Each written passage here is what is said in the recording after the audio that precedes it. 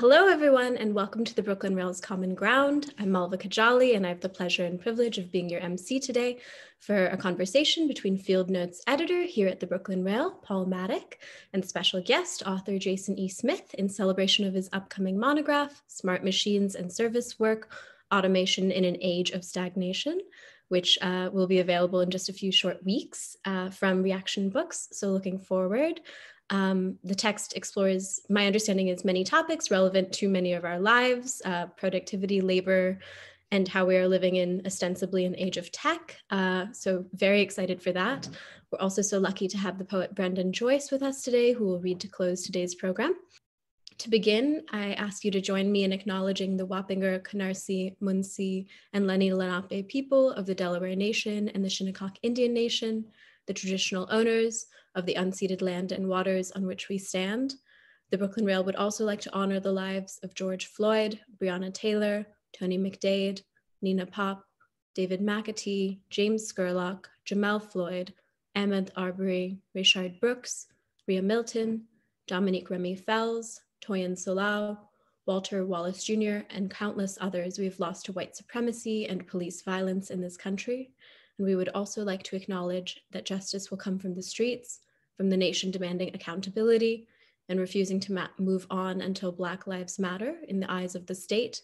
Before I introduce our illustrious guests, we invite you to join us for a brief moment of silence.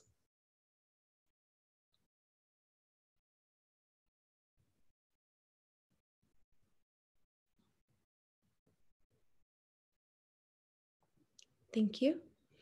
And now to introduce our special guests. Paul Mattick is the Rails Field Notes editor, as I mentioned. His most recent books are Theory as Critique, Essays on Capital, which came out just last year with Haymarket, uh, and Business as Usual, The Economic Crisis and the Failure of Capitalism, also through Reaktion Books in 2011. He will be joined by Jason E. Smith, who writes about contemporary art, philosophy, and politics, among many other things.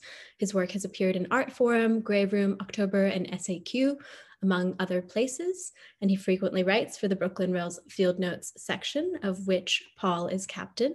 He's currently finishing two books, one that he has finished on automation and the other on the theory of the party in political struggles. And he's currently chair of the Graduate Art Department at Art Center College of Design.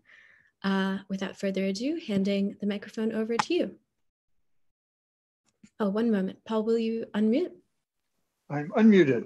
Perfect. Which gives me a chance to say thank you, Melvin. Thank you very much for that elegant and well done introduction. And um, I'm really, really happy that Jason could join us. This is the, he is the author of the fourth Field Notes book.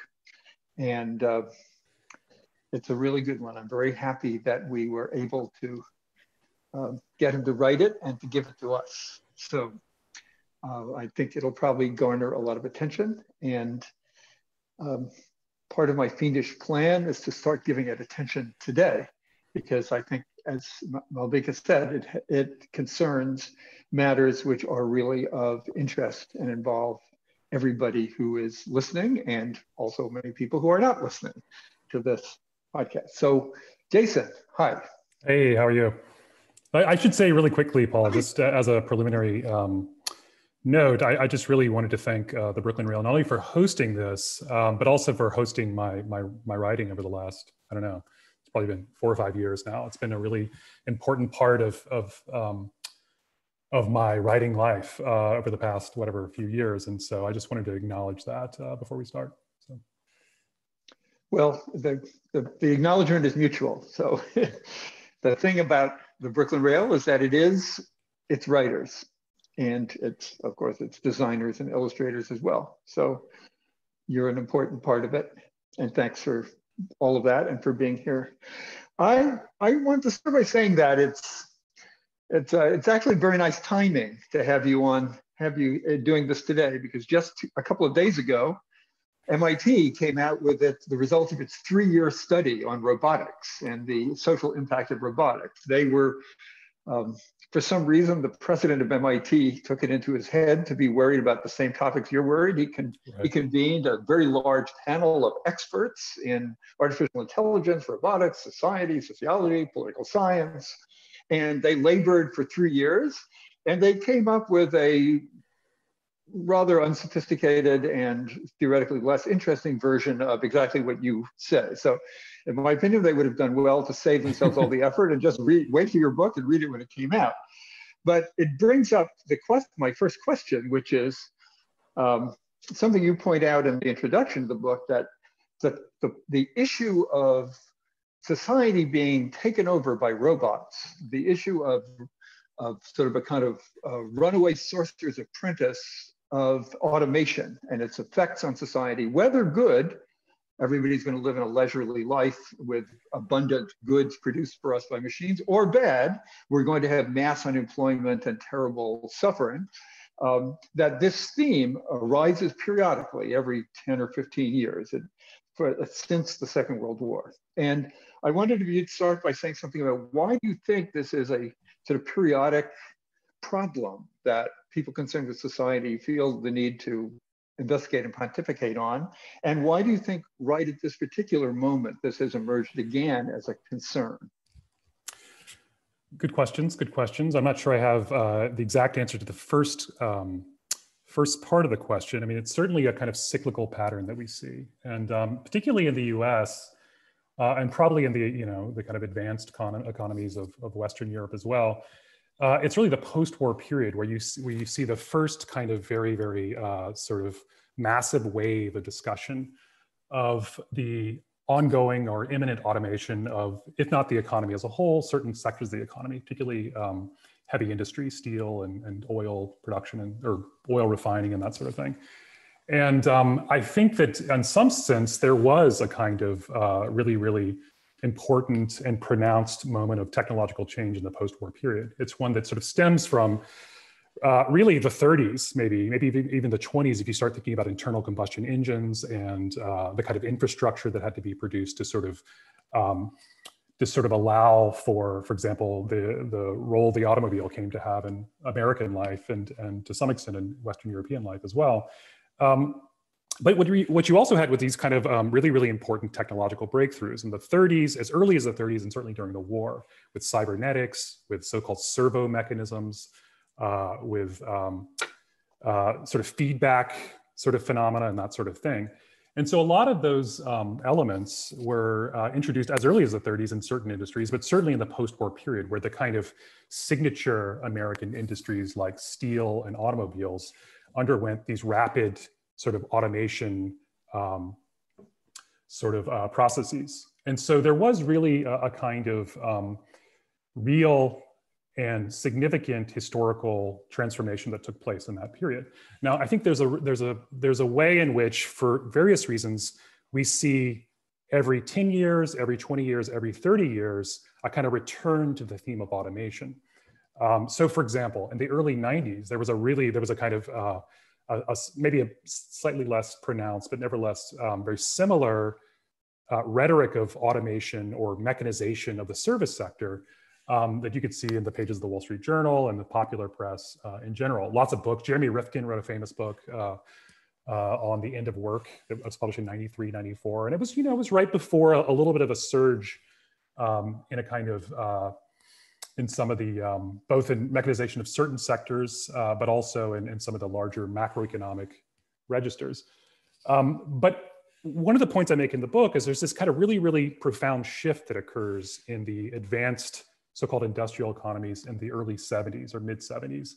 And that in, in a certain sense, what we see since the early 70s is a repetition of this rhetoric of imminent automation um, that's taking place over this kind of abyss of economic stagnation, a kind of prolonged economic stagnation, not only over the last decade, which is sort of the starting point for my book uh, in some sense, but really for the last 40, 50 years.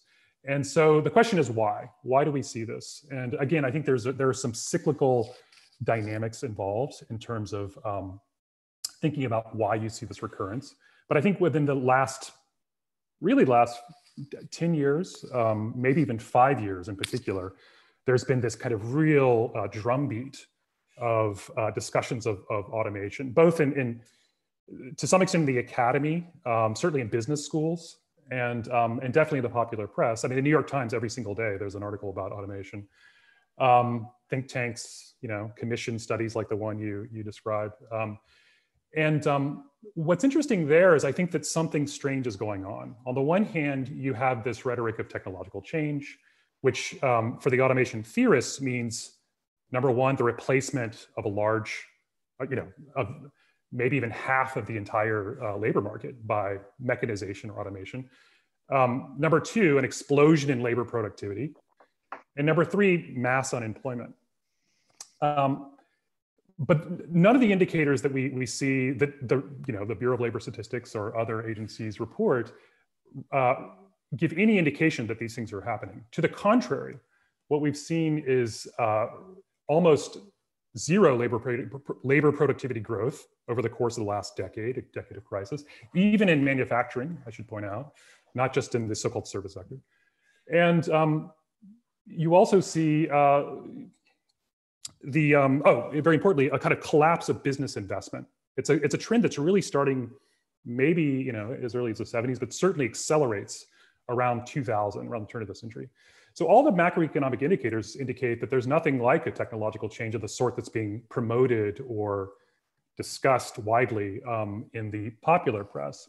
And I just to, to end on this note, I, I, know I'm going on quite a bit, but I'll just say that I think that um, or I hypothesized that on some level, certainly the role of tech companies in the stock markets, stock markets which have been, which have been essentially just goosed by massive tsunamis of, of cheap money, uh, that have, and quantitative easing, of course, which have sort of forced people to to dump money into the stock market. But also, I think that the, just the the the everyday impact of social media and and smartphones and that sort of thing on people's life on their on their everyday life has also given one has has provided or has generated a kind of environment in which the, this kind of rhetoric can take hold, despite all the indicators to the contrary, that we're not in a, an age of technological change. To the, to the to the contrary, it's one of prolonged crisis and deep crisis. So.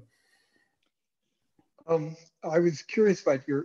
I noticed the phrase "so-called services" and right. the suggestion that the decline in productivity and the sort of failure of the tech, the big tech idea to actually be a real determining presence in the economy, uh, related to the idea that so much of the economy is now a service economy.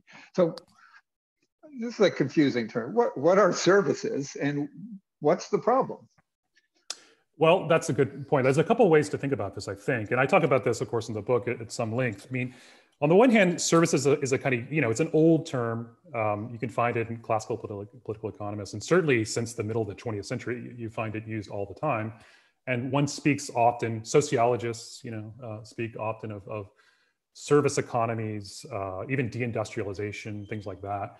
And of course, service economy or the notion of a service is a kind of useful one in some sense. Um, it describes and, and lumps together, uh, for better for worse, all those kinds of laboring activities, which in some sense don't produce a, a, a, discrete or kind of separable object that somehow can be sold in the market at a time after its production. Um, and I guess, you know, it, it is the case that a lot of the laboring activity that people are compelled to perform are those types of activities.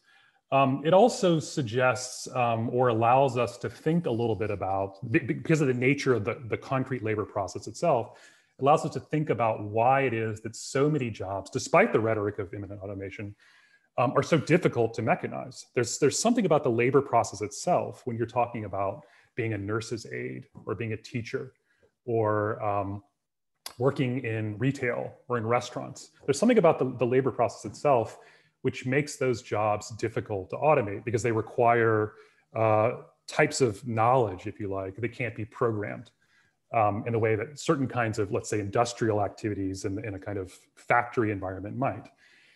That being said, of course, the problem with the service sector is it, right now in the in the U.S., I think you're talking 82% or something like that um, of the jobs. So at a certain point, just analytically, it's unclear what we're talking about when four fifths of the jobs are considered service sector.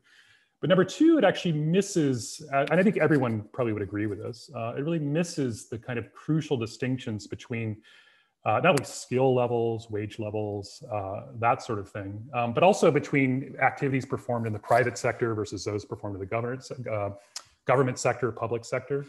Huge amount of, uh, you know, the activities in the, in the public sector are services that are provided, uh, oftentimes not on the market, but, but uh, provisioned uh, by, directly um, by the government.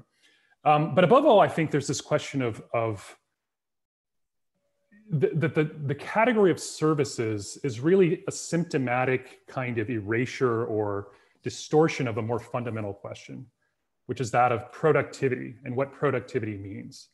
Now, on the one hand, one of the reasons why, or one of the, the most co coherent and convincing arguments that sociologists and economists make for why there's been ongoing declines in labor productivity gains is that more and more labor is being allocated to the service sector. That is to say, to low productivity, kind of uh, labor intensive uh, work. And to some extent, that makes sense as more and more people are being, more and more labor is reallocated there. The overall aggregate labor productivity gains are going to be less and less. In fact, in a kind of asymptomatic way, they'll verge towards zero.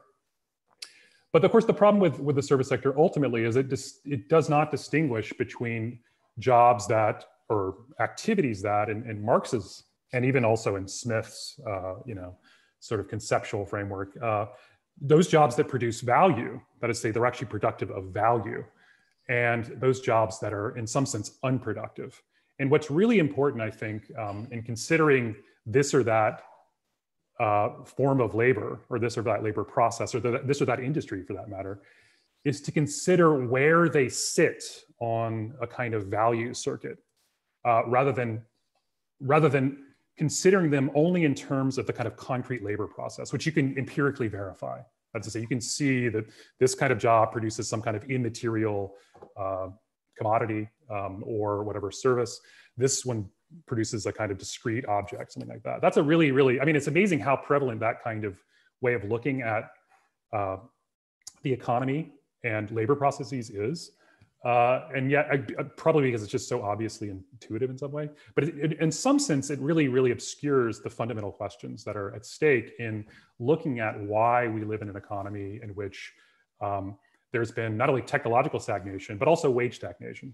So I don't know if that gets to, gets yeah. to your point. I mean, I know that you have. Well, um, it's, it's getting, okay. it's getting okay. there. So maybe a, a way of taking it a little farther would be to, I guess, um, if if the point of the of the of the capitalist economy is to produce value, and more and more of the labor which is employed is not, according to you, doing that, how does that situation come about? In other words, why?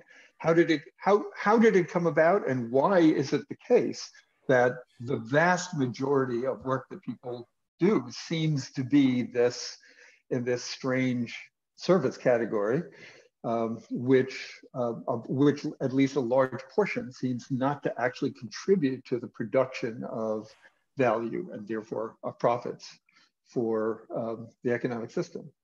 So why would that be?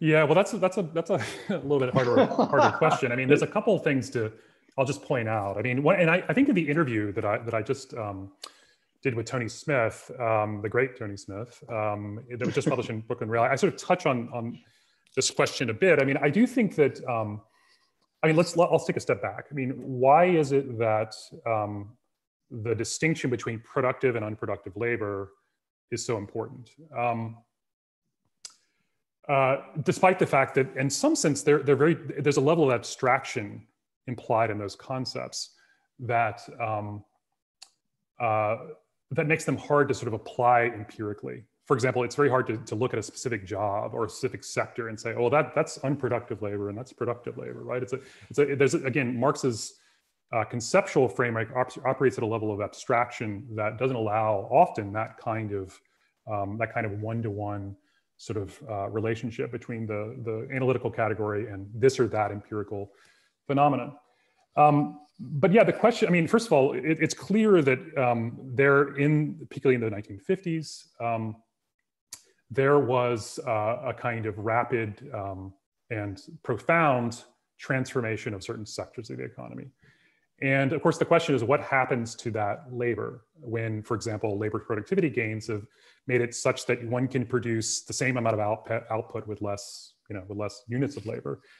Um, and of course, there's a couple of things to think about there. On the one hand, um, that didn't produce mass unemployment, right? I mean, what, what's interesting about a lot of the rhetoric of, of automation in the current moment is that it's always tied to mass unemployment, this, this fear of mass unemployment. But the fact of the matter is that in economic booms of that sort, uh, you don't see mass unemployment. In fact, you see you see long-term transformations of the labor market, well, short-term transformations of the labor market, and also long-term, let's say, uh, accumulation of a kind of reserve army that might be uh, have a more um, precarious relationship to employment. But that's not. But but whenever you see mass unemployment, you see it during economic crises. You see it in 2008. You see it in 1933, and so on and so forth. Now the question is, why has so much um, why is there, let's say, to put this in slightly um, awkward terms, why do we see a rising ratio of unproductive to productive labor in the economy?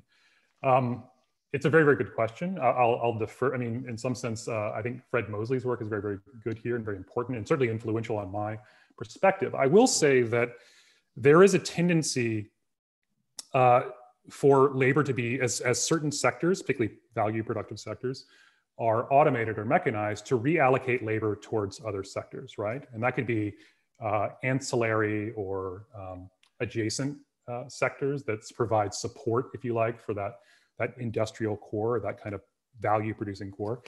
And it's also the case that in many cases, uh, those, um, the labor processes required of those types of, or the labor processes that um, emerge in these kind of new industries uh, for example, or massive expansion, for example, of transportation or circulation industries, um, do in fact require or resist in some sense some of the uh, technological substitution or replacement or mechanization that are more easily um, implemented in you know production of steel mm-hmm. manufacturing but so but so but i think there is a long-term let's say um, I don't know. I don't know if law is the right term. I think law might be the right term. I mean, certainly Marx would use that term. There is a kind of tendency within the kind of development of the capitalist mode of production for more and more labor to be allocated towards uh, unproductive activities. Now, the question is, why can't those activities also be automated uh, at the same rate mm-hmm. as those in the productive value producing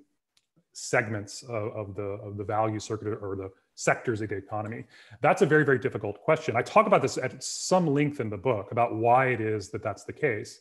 Um, but it's a it's a um, it's a thorny uh, problem to address. You just you just spoke about the allocation of labor to your phrase as other sectors yeah. as a the labor which is sort of freed up by the mechanization of industrial processes, for example. Yeah, sure. Um, in your book, you use a, a less uh, neutral sounding term, in a chapter in which you which you call the servant economy. Right, that's right. It's one of the most striking um, phenomena that that you discuss in the book is the transformation.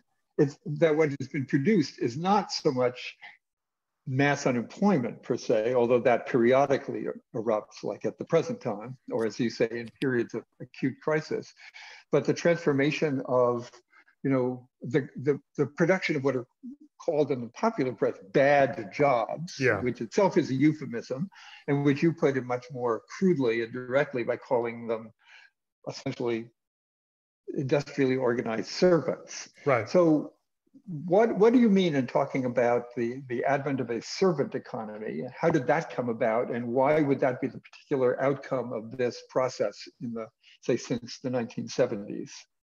Well, I think this is this is a really in, important point in the in the book, and I, I, would sort of start out by saying, and this is something that everyone seems to acknowledge, maybe except for some people in business schools, um, is that all the job growth that you've seen in the U.S. Uh, since really, well, certainly since 2008, but really since the turn of the century, have been in almost entirely low wage, uh, so-called low skill service sector jobs. Okay, and that's that's really really important because that's the only. I mean you're literally talking about um, three quarters of the economy in terms of job growth are in those sectors, right? Or in those in those types of occupations. So what and, are those um, occupations? What's that? Can you can you say more specifically what are those occupations? Yeah, well, things like, for example, well, certainly in, in restaurants, uh, particularly fast food restaurants, is mm-hmm. one uh, is one uh, one area. Uh, teachers' aides, nurses' aides, people working in healthcare primarily, uh, home health. Care. I mean, I, I, exactly is it called home health aid something like that i forget the yeah. job category but people essentially who are not working in hospitals or doctors' offices, but going usually oftentimes in, in kind of um, uh, in people's homes, right? And caring mm-hmm. for elderly people or people who are not able to perform whatever tasks they they need to. Um, and that's a very, very, I mean, it's important for a lot of reasons, this idea. I mean, first of all, it does, there's this kind of gravitation of those jobs, particularly in the, the example just given, of people not working in workplaces with other workers, for example, with whom they can form bonds of solidarity or, or perhaps uh, sort of resist in some way the kinds of disciplines that are imposed by their by their bosses. But people who are, are essentially you know sort of uh, stuck in other people's houses performing essentially uh, various kinds of personal services including bathing cooking so on and so forth. Um, i think it's complicated the term servant is a little bit complicated. I mean on the one hand um, I did want to evoke this idea that more and more of job growth in the service sector is in personal services. And that could mean anything from, you know, sort of massages, uh, haircuts, uh, you know, home healthcare type uh, aids. And that's not meant to diminish or in somehow denigrate those jobs. In fact, I would say many of the jobs that are being, uh, that are available, newly available on the job market, which are considered low skill jobs, in fact require incredibly complex uh, skills that are usually involve um, a kind of uh, complex human intuitive dynamic. And there's skills that are oftentimes learned uh, over the course of a lifetime, uh, how to care for children, how to care for uh, other people. Um, but they're skills because you don't go to college or you don't go to, um, you know, Swarthmore to, uh, to get, you know, accredited for those things. They are deemed not, they're not skilled or they're low skilled activities. Now, so in a certain sense, that's the idea is that there's this, there's this kind of tendential um, pattern within current trends in the job market towards the reallocation of labor, not simply to the service sector, but to the personal services. Now, and the term servant, I, I should say, you know, I, I, um, I was in, I should say also, I mean, the term probably resonates with people who are writing about the gig economy, for example. Uh, people, I mean, in the context of this pandemic, people who are able to have their uh, their groceries delivered by other people uh, probably feel like that term, whether they want to uh, address it or not, that term probably is relevant to the kinds of mm-hmm. activities being performed there. Um, now, the the important point I want to make is that I, I take the term uh, uh, explicitly from Marx and the volume one of Capital, and Marx makes this kind of this point about um, about trends in class composition as advanced economies industrialize. And what he says is that, you know, and, and this is really, really poignant for thinking about how this all relates to class struggle and the labor movement and that sort of thing, is he says, well, you know, even in 1867 or, or whenever he's publishing uh, the first volume of Capital or the third volume, I don't know exactly, excuse me, the third edition of the first volume, he says something like, well, you know, despite the fact that our fantasies of industrialization imply this, this tendency towards incorporating more and more of the working population into, let's say, industry or heavy industry, mining or steel or textiles, what you in fact see is a massive expansion of the so-called servant class so, so the tendency is not towards everyone becoming a factory worker. The tendency is just the opposite. It's toward a smaller and small. I mean, there's an expansion, of course, of the industrial uh, core of the economy uh, over the course of the 19th and 20th century. But, but even in 1867, he says there's, there's more so-called servants uh, employed in households across Britain today than there are any in the in the mines in, in all the industries.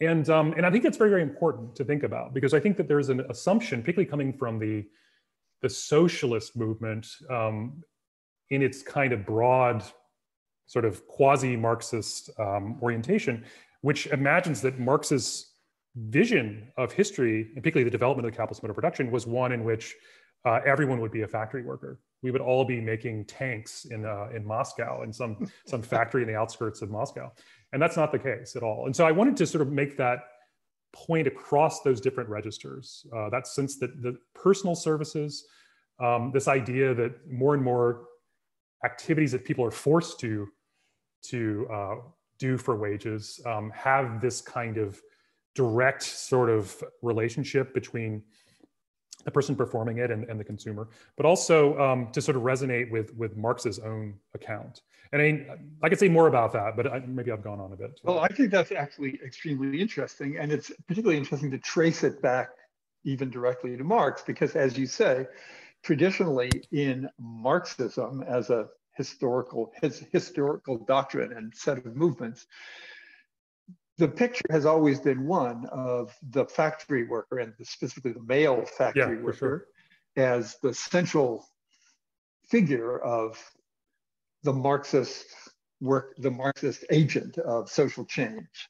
Uh, and so it's actually very interesting to think that not only did Marx already figure it out, but, but in fact, that's not what happened. Right. The uh, actually the male factory worker is a very small minority now of the working class. Uh, and in fact, meant much of the kinds of work that you are describing as the growing and dominant uh, kinds of labor which are becoming available have historically been defined as women's work and involving right. caretaking and uh, taking care of children or sick people or family or cooking all so what's what's interesting is that that traditional way of thinking about a workers movement in terms of the regiment of horny-handed sons of toil in, in, in the factory organized wearing their hard hats and coming out on strike no longer if it ever did but certainly not today and not in the future, in the near future, fits the reality of who actually works for a living. And I wondered if you might want to say something about the consequences to be drawn from that of for the traditional ideas of what a workers movement would be like because obviously you know if if we have a if if 12% of the population is working in factories then any social movement uh, to change capitalism in the future is not going to consist of factory workers. Right. But if it's going to be a movement of that you could describe as a movement of a working class, it will have a completely different complexion, a completely different set of gender characteristics, a different set of work experiences, and different modes of organization and relationship to each other, of individuals to each other. So maybe you would say something about that. Yeah, I think that's really important. And I think in some sense, uh, I think, you know, I, I, talk about about possibilities uh, for emerging uh, tendencies within so the, you know, class struggle, if you want to put in those terms. Um, it, towards the end of the book, I think in some sense, I wrote the book because I wanted to understand what was going on in, in, the, in the world around me, of course. But I also, I think the horizon was always that sense that that's the question we have to, to look at is what does class struggle look like after the labor movement in the, in the terms that we have come to sort of understand that. And it is, as you say, I mean, it's, it's the labor movement really of the late 18, late 1900s up to 1970, let's say. 18, what's 1870 to 1970, 19, 1875, 1975. Because of course the labor movement in the early uh, period, the labor movement, or let's say let's, the composition of the working class in the early phases of English industrialization had lots and lots of women uh, that were mm-hmm. sort of drawn in from the countryside along with men. And, and of course, if you read those, those the, the famous chapter uh, 15, uh, Marx dwells a great deal on that. In fact, he's writing right at that cusp in some sense of this kind of transformation and really consolidation of the workers movement around a, a kind of male figure, kind of male uh, industrial figure of the worker. So, so I think that on some level, the, the riddle that I want to, to not solve, of course, but to sort of think through a little bit is what form of um, what forms of struggle would be possible in a context where class composition has been transformed so radically since certainly the, the post-war period um, in the US? And I think that that's a lot, so, to some extent, my, you know, the balance sheet is quite negative, in fact. Um, and, it, and to some extent, that's something that I, I think everyone on the left, um, quote unquote, sort of also acknowledges is that certainly since the 70s, um, there's been a kind of uh, defeat of the labor movement and of the working class more generally. And there's lots of explanations, usually having to do with Reagan and a dismantling of unions and so on and so forth. I didn't think that was a, a strong enough account um, or, or a convincing enough account. I mean, uh, the union participation rate, or however you describe that, uh, has gone down considerably since 1980. I think it's probably uh, from 20 to 10%, something like that. Um, wasn't that high in the in the peak was about 35%. Right, exactly. and of course, those, yeah. those were oftentimes in, in key industries, you know, in terms of their their place within the total social articulation. Uh, so qualitatively, even though the, those numbers are not a ma majority, they were important industries that could really act within which actions could really uh, do damage, uh, you know, economically to the capitalist class. Um, but one of the things that I really sort of try to put a lot of pressure on in the book is is the link between wage stagnation and um, declining labor productivity gains because that is a really really important key to the whole picture i think. And it's one that doesn't get i think it's misunderstood actually quite a bit and even amongst people who are very very smart. Um, but the consol or the kind of um, expansion or um, consolidation of the power of the labor movement in the US in the post-war period in particular was entire, but also also elsewhere in, in, Western Europe, was entirely tied to labor productivity gains in the key sectors, in, in, steel, automation, and so on and so forth. And you see actually at the oftentimes at the national level, um, and certainly in places like Italy and France, where, where there's a, a different kind of relationship between the state, capital, and labor, you see these um, you see, again, at the sector level, certainly, um, you see wage gains tied explicitly to productivity gains, oftentimes directly correlated in labor contracts, you know, that the unions and the, and the, and the bosses uh, work out through whatever kind of process. And the idea is quite simple, that if there are labor productivity gains, those gains can be shared equally, quote unquote, that is say at the same rate of, or the same shares of income that capital and labor that prevail you know between capital and labor. Um, so that their labor productivity gains those gains can be shared between capital and labor probably not symmetrically but that does make possible something like wage gains right? So it, it has to be reflected in these productivity gains. And if there aren't productivity gains then the only way there can be wage gains is by a direct diminution of the return on capital. Let's say the income that, that accrues to capital, right? And so that's that's not going to happen uh, under almost any prevailing scenario. That capital will not simply cede some share of its income uh, without those corresponding productivity gains, right? And so that's that's that's in fact that's in some sense what we've seen since the mid 70s is this kind of dogged attempt by capital in a context in which uh, productivity uh, gains and GDP growth more generally have sort of um, tapered off, you see this kind of dogged refusal to uh, not only allow for, of course, a larger, larger share of um, labor share of income, but even to kind of clawing tooth and nail back uh, any possible productivity gains that do emerge.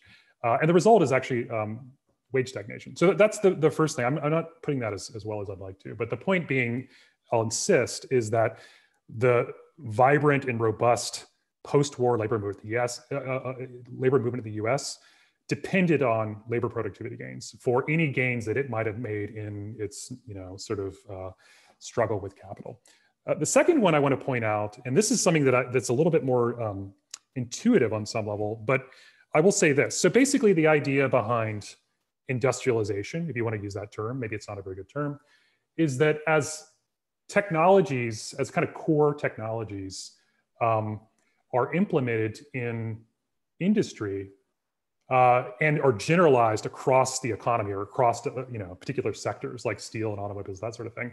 What ends up happening is that the labor processes within these distinct craft traditions actually become increasingly similar to one another. So there's a kind of homogenization of labor process across industries which are otherwise separate historically. So people in, in steel and people in automobile factories are performing very, very similar tasks using very, very similar machines. And so that, so, so that kind of labor process homogenization or generalization is, I think, a key aspect of the ability to organize the labor movement across individual sectors or individual crafts, as was the case in the late 19th century. So that kind of homogenization of labor process across industries is really, really important. So when you have a, a, a period like our own, where all the labor all the uh, job growth is in um, in oftentimes uh, labor intensive uh, small workplaces with not many workers, that sort of thing, that are oftentimes dispersed in space. I mean, literally, in some cases, people are going to buy themselves to other people's homes uh, to perform labor mm-hmm. um, or perform jobs. What you have there is a kind of what's the word? A kind of um, disintegration or decomposition of some of the material conditions for a kind of robust solidarity, uh, working class solidarity across industries. And so that's a real, that kind of, I don't know if atomization is the right word, but that kind of pulverization is really, really important part of the process since the 1970s.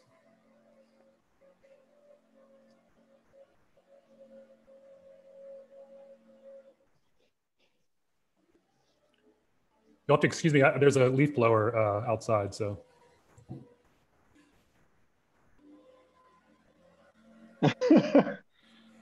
um, yeah, it's, it's been sort of interesting. I, I noticed that a lot of the labor actions in the last few years have been taking place in what you would classify as the service sector. For the most, the biggest, probably the most interesting case is the teachers yeah, in West sure. Virginia and other states who have.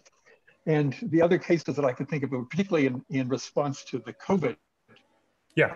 problem, right? Um, you had you had a lot of you had a lot of strikes among truck drivers, bus drivers. Uh, there was just a strike yesterday, a wildcat strike by um, Teamsters in oh. in the Midwest, who were complaining about the lack of, of healthcare equipment and so forth, and against the, their union against the union's will, and which is now kind of a big struggle. But you know, there's 400 people, but they're they're they. Uh, it seems to me that these are all workers who are not completely isolated, even though they don't work in factories. Yeah. UPS workers work out of a particular location, and they're also connected to each other partly through a union organization. The teachers are all they're they're not working on the same school, but they're all working with the same yeah. state school department and so forth. So it's what it's I guess what's interesting is to speculate or maybe to draw from such experiences what might be emerging new patterns of um, working class organization that are adapted particularly to this condition of being in the service economy. I know there have even been organizations constructed in among people who are probably in a very weak position economically and socially, like McDonald's workers. Yeah but they are able to sort of organize strikes and walkouts and protests. So um, I, I, guess I'm interested, in, I, I, if you have any thoughts, I would be interested to explore a little bit, you know, how different is it really? Because, you know, even in, even in the past, for example, certain industries like textile in the United States, which is very, very large, was probably the second largest industry, if not the largest industry in, in the South. Said, they, yeah, I was going to say the South in particular, right? Work. They could not be organized, partly because the unions didn't make the effort, uh, partly because they were never willing to confront the race question directly. Um, but um, it's also very hard because textile, uh, the textile industry is organized was probably, in, but it's even today in a place like Bangladesh, for example, or in Indonesia, organized in small shops, small factories, not very, you know, it's not like an automobile factory that 40,000 people work in. It's probably right. a little factory that 200 people work in. Exactly, yeah. Uh, and so it's very, very difficult to organize those things. But that was also true for industrial labor, not just right. for service labor. So I guess I'm maybe it's my eternal optimism, but I even want to question how, how uh, obviously we're in a different world, but you know what what uh, what is what is the fine you know if you if you draw a fine tooth comb through through social reality, what differences are important and what continuities and similarities are still there. And I wondered if you had any thoughts about that from having investigated these questions. Yeah, I mean, I, I guess, uh, I mean, I, I, guess we could step back and say, well, what have we seen, you know, on some level over the past eight months, but then over the past five years. And I've actually been struck by the fact that people who have been really, really uh, thrown into a kind of very, very difficult situation, uh, particularly people working in hospitals, nurses, and that sort of thing. I'm, I'm surprised there haven't been more uh, interruptions uh, mm-hmm. in, in, those places in particular. I think there's obviously a complex ethical tension there between refusing uh, to or withdrawing one's labor and then having people suffering or otherwise um, depending on you to survive. And I think that's a that's a very important mm-hmm. uh, and complex aspect of the current situation. Uh, of course, there were these these kind of extraordinary, um, really revolts uh, in the late May and early June, um, which weren't necessarily tied to workplaces, but were uh, anti-state revolts or anti-police. To, to, think of the police as, in some sense, the kind of uh, the most um, outward-facing, but also kind of exemplary figure of the state for us in the current period. Um, the Fed and the police are the two, in some sense, the figures of the state for for us today, I think. Um, but if you look over the, the, the past five five uh, years or so, you're right. I mean, there's on the one hand, in, particularly in the U.S., there's the teacher strikes, uh, which have been really, really remarkable. Ha- oftentimes happening in so-called conservative states or people who otherwise states that otherwise vote for, uh, re, you know, Republicans or what, whatever. Um, and then you have, you know, outside of the U.S., you have the Gilets Jaunes movement in France, which for me is really, really an important um, uh, phenomenon, which in some sense I, I, always thought of it as being an incredibly American type. like it's a type of type of uh, struggle that I would imagine. The form it took seems very, very American to me, and not French. You know, because could you my, say what you mean by that? Well, I mean in the sense that you know French, you know, struggles, which are very, very cyclical in some sense. Uh, they're very predictable almost, and they oftentimes are led by the CGT. You know, the kind of big sort of formerly communist uh, aligned. Uh, um, labor union, um, and they're oftentimes which which is in you know it's a very small part of the working population in France, but it's actually uh, embedded within really really key industries like the nuclear industry, which in France is of course mm-hmm. 70 mm-hmm. percent of the uh, energy production. Um, but also there's a CGT police, for example.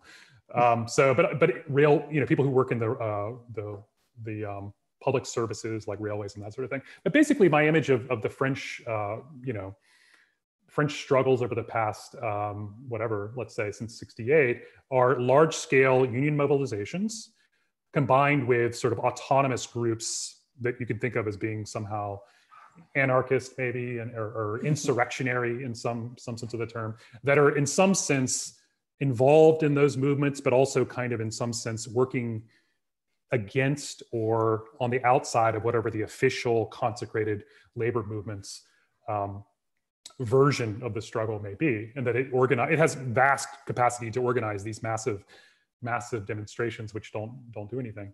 But the but the the the Gilets Jaunes was which much different. It was entirely unorganized, uh, except through some social media things and that sort of thing. And it's people oftentimes who've never been involved in any kind of struggle in their workplace or, or, or otherwise. Um, it tended to be a workers' struggle which took place outside of work, I'd say outside of the workplace. And of course, it took place, I mean, and the people involved were, were neither the kind of unionized core of the classic French sort of labor movement, nor the kind of autonomous insurrectionary uh, wing of the movement, which oftentimes, again, is opposed to the, to the, to the labor movement, but at the same time, always working kind of in relationship to it. Um, it's a totally different group, a totally different sociological stratum.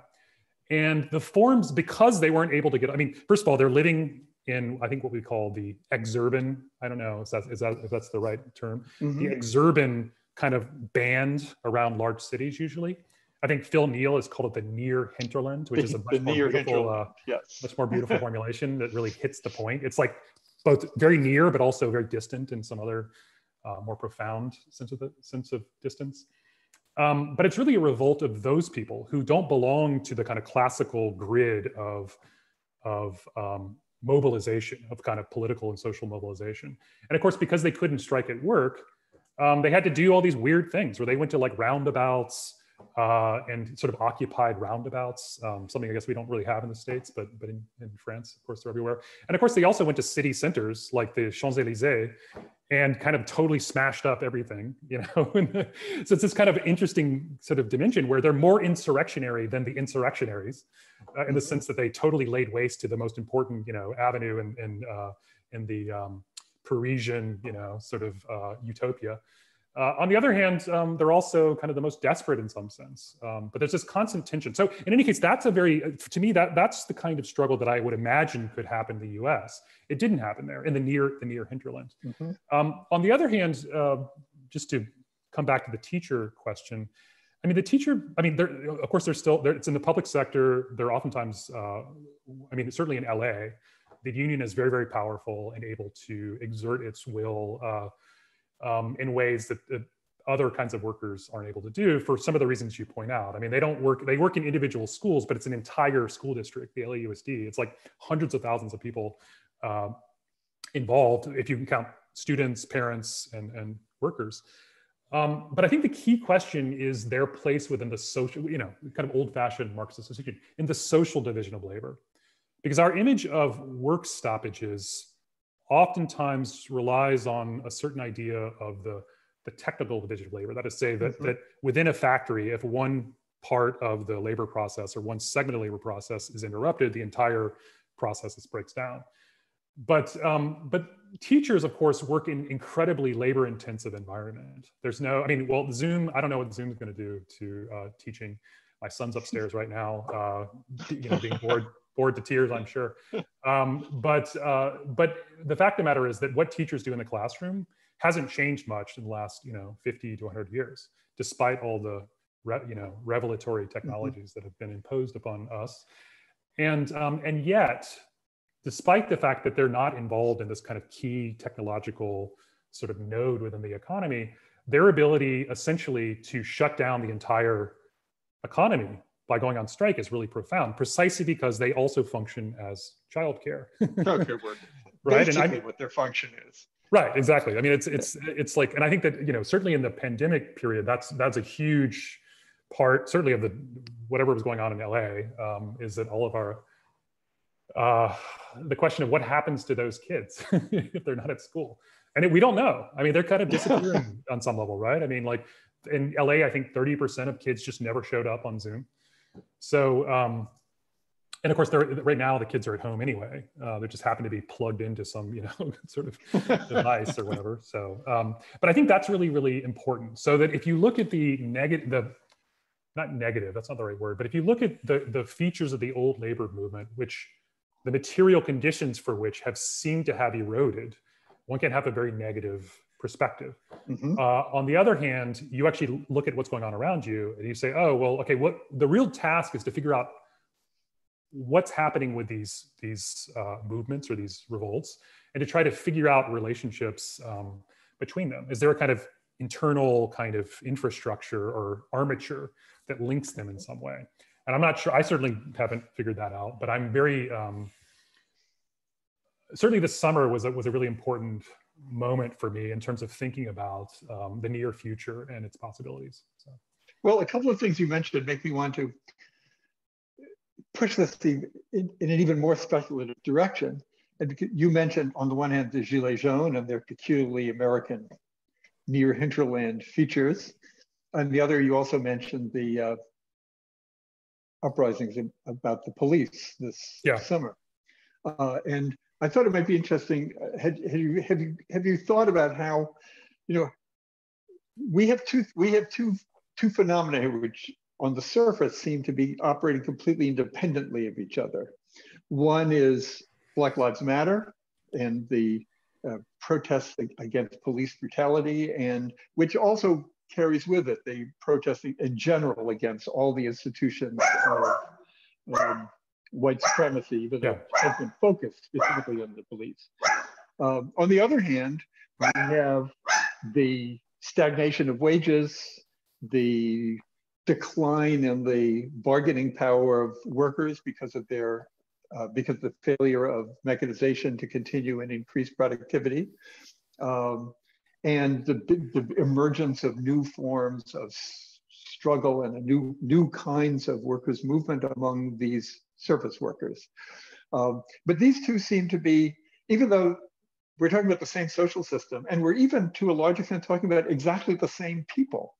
Yeah. You know, when we talk about the victims of white supremacy, we're also talking about a lot of people who work in um, packing house, meat packing plants, uh, you know, um, women from Central America or Somalis sure. in the middle in the, in the, in the Midwest. And when we talk about UPS workers, we're talking about a lot of African Americans as well as a lot of European Americans. But so we're even talking about the same people facing in a way the uh, equally oppressive aspects of one social system. It makes me think of a photograph I saw of some little band of people in Denver, Colorado, of all places, called the Denver Communists. There are probably 12 of them. They were yeah, all there. They had their sign up. It was a great sign. It said, defund, disarm, and defeat the police. that was defeat in very large letters. And then on the bottom, it had, it's to, to describe the police, that slave catchers, strike breakers. And I thought, okay, they put it together. They, they've yeah. taken these two things and said, it's this is one system actually which has these different faces. Do you see anything do you see any signs of any of this uh, that recognition emerging? Or do you see a possibility of that emerging in the future or the near future? Right yeah, now everything has been I, calmed down by the elections. Yeah. But but the future lies ahead. Yeah i don't know. I mean I, one of the things that i i've, I've thought a lot about um, is the is the viability of the, of the, strike as a, as a kind of collective action. Mm-hmm. It's something that my friend uh, Joshua Clover has written very interestingly about um, in his book, um, Riot, Strike, Riot. And um, what's interesting on some level, of course, is, you know, the kind of basic given of all the people involved in all these struggles, whether they're anti-police struggles or whether they're uh, teacher struggles or what have you, um, is that they're all wage laborers and they all um, work in sort of conditions that uh, they would want to, in some, some sense, uh, transform or reshape or what have you. Um, they're all subject to the kind of overarching pressures of wage stagnation that, um, that workers suffer from. And yet, for the most part, with the exception of teachers, for reasons that we've sort of touched on, they find the place from which to struggle is not the workplace. And so the mm-hmm. question is, why is that the case? Why aren't people just revolting in workplaces across the country? And I think that's a really, really important um, question to raise. To some extent, it, it, mm-hmm. comes back to this question of the servant class and the kind of dispersion of the class across spatial sites so that what you end up with is smaller and smaller workplaces, uh, mm-hmm. workplaces that are less capital intensive. So that if you go on strike and you're at a haircutting uh, salon, you don't immobilize very much capital, right? Maybe the uh, the rent, the commercial rent, or what have you, is is part of uh, the equation there. But you're not arresting large mm-hmm. quantities or large masses of value in motion, right? Um, so, that, so, and I think that that's something that's intuitively quite obvious to people who are involved in these struggles. Um, it is it is interesting that, for example, someone like Kim Moody, who's a really really interesting uh, kind of labor historian uh, who I, I, read a lot and, and, think a lot about and try to constantly work through his ideas. He seems to think that, you know, in fact, we, we're in a just-in-time economy that's, in, that's entirely or increasingly kind of networked into this kind of fragile kind of spider web like sort of structure. And so that any, particularly people in the just-in-time logistics uh, sector or kind of um, framework have this incredible power to interrupt the economy he even thinks that, for example, uh, he says in one interview, which I, I cite in the book because I don't understand what he means. He, he refers even to like hospitals and uh, big box stores as the quote factories of today. And by he means a lot of things by that. There's lots. So, so apparently, there's lots of capital that's made. He gives these these statistics which are which are uh, questionable about uh, capital intensity and that sort of thing, and you know hospitals, uh, workplace sizes. I mean, again, he, he fudges everything in this kind of funny way to get it to come out, you know, to get the equation to come out the way he wants it.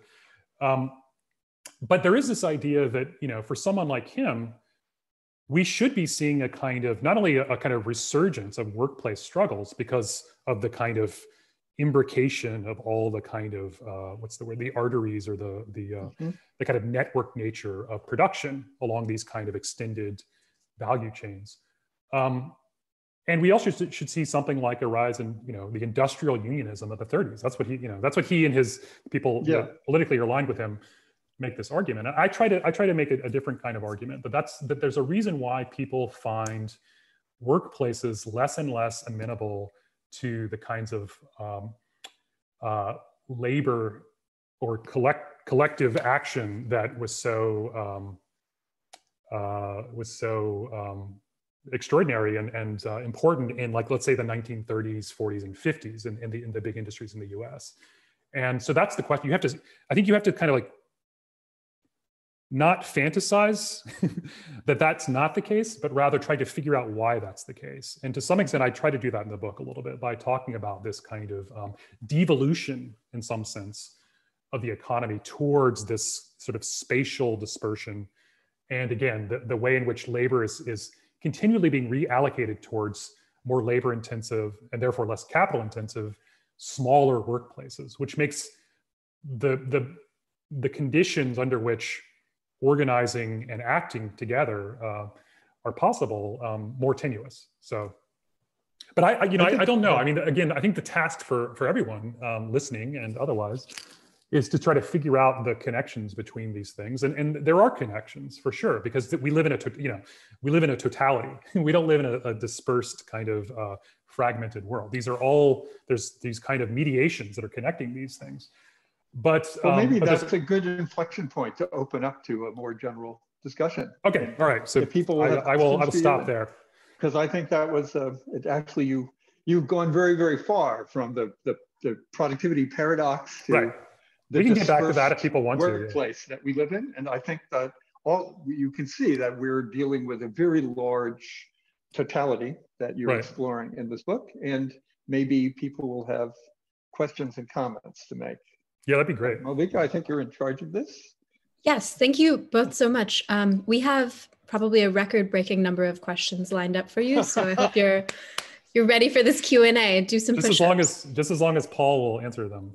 No, no, no. You have to answer okay, so our first question will come from Gerardo Gerardo Munoz, who I believe I'm reading the question on their behalf. Um, uh, but I think this is like the perfect question to open up this conversation. The question is Gerardo says, Great conversation. And I'm looking forward to reading Jason's book. When Jason talked about the transformation of class composition, I wanted to see if you could say something about the transformation of the service economy in relation to the topological problem of the metropolis, which seems to be the spatial, even civilizatory uh, or civilizational organization of this specific financial transformation. It seems that this was the case with, of the Gilets jaunes. It was a counter metropolitan revolt, but I could also think here of the Chilean revolt of 2019, which really started as an exodus against the subway of Santiago. Now it seems that's that this count, right? Sorry, yeah, that's great. Yeah. You you see this like why this question goes yeah, first. Um, uh, yeah, so touching on the Chilean revolt 2019, which really started as an exodus against the subway of Santiago, now it seems that this counter metropolitan contestation in the United States is still in an immature phase. They really have been in metropolitan areas, but not against the metropolis as such. Do you see this sort of anti metropolitan experiential contestation emerging in the wake of the rise of the tech sedimentation?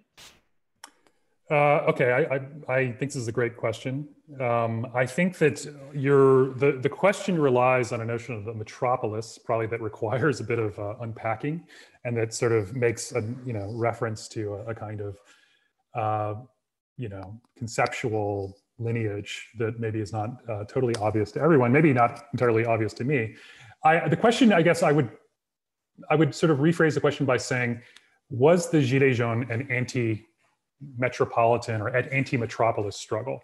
Um, I think that's really, really interesting. I think the Chilean answer is, or the Chilean situation, which I don't know as well as Gerardo, I'm sure he, he could say a lot about that, uh, is probably a better example. But I'm not, I'm not entirely sure that's the case. I tend to think of the notion of the metropolis as having a kind of Italian, I don't know, kind of post-workerist uh, idea that in some sense, it's not simply that um, the labor process or industry, uh, you know, capitalist industry has been really subsumed by capitalists who are constantly transforming the labor process and and uh, and through technological change, uh, inducing you know higher productivity within work sites.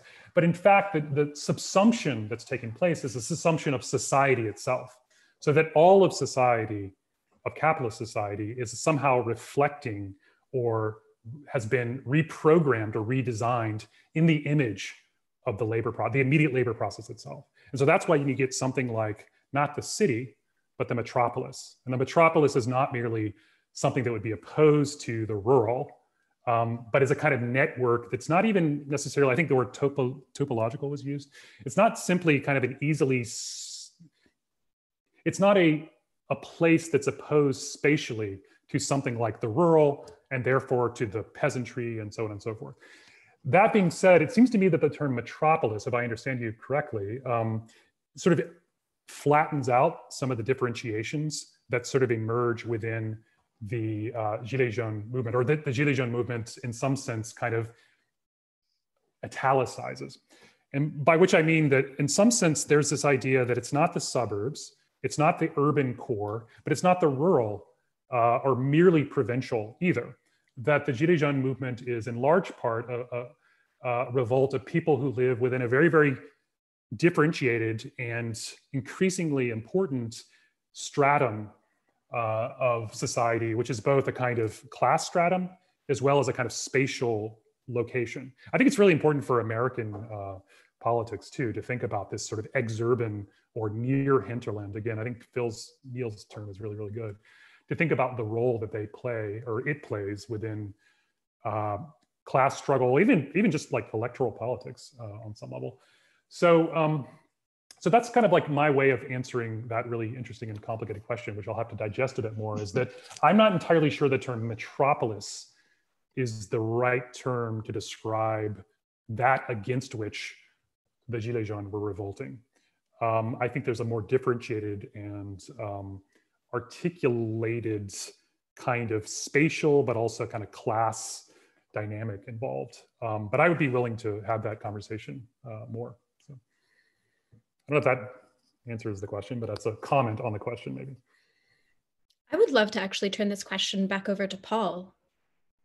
Um, actually, I would rather just go on to the next question because I, I pretty much agree with Jason. And my problem with it is that it's a really great question. And to really discuss it would take us another hour and a half. so I think what's, what's happened is to it, the question has been raised. Everybody can see why it's interesting and important to think about. Yeah. But we're not going to come to the end of it here. And if we started, I think that would be the end of everybody else who wants to ask a question. But I think that in the future there will be more discussion along those lines. I hope, like uh, in a different context. But, but clearly, let me just make one comment. Now that now that you got my mouth open, I can't shut it. So the, my my other my other comment is that you know clearly there is some major crisis of the city going on. Mm-hmm. I, I, myself am not a user of the, of the concept of the metropolis, but I can see that the whole relationship between cities and suburbs and cities and countryside is in flux at the moment and very, very unstable. Who, uh, who lives in cities and what they're for? You know, I live in a city now which is 30% empty. It's basically much of the center of Manhattan is basically a site for money laundering for foreign gangsters from Russia and China and Sweden and every, you know, that's what it's for. All they're that's London as well, right? Laundering money by buying apartments for forty billion million dollars and selling them to each other. So it's not, it's unclear what you can you can see if you even walk around. It's hardly even a city anymore. The stores are closed. You know, nobody can go to school. Every, you know, it's absolutely astonishing that so New York, which was once kind of the great world city, it's just completely finished. It's not a city. So, and I assume that something like that is you can see it in Paris, which yeah, I, when I used to go to Paris 20 years ago or 30 years ago, you thought, oh my God, we're, I love the 19th century here.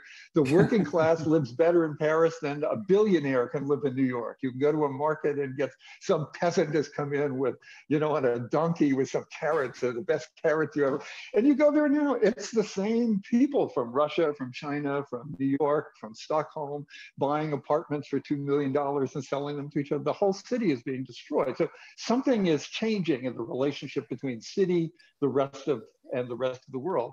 And I have, I don't know what it is because I haven't sat down and spent the five years it would take to try to figure it out. But clearly, this is a very interesting and important question, which has enormous consequences for thinking about the future of social change.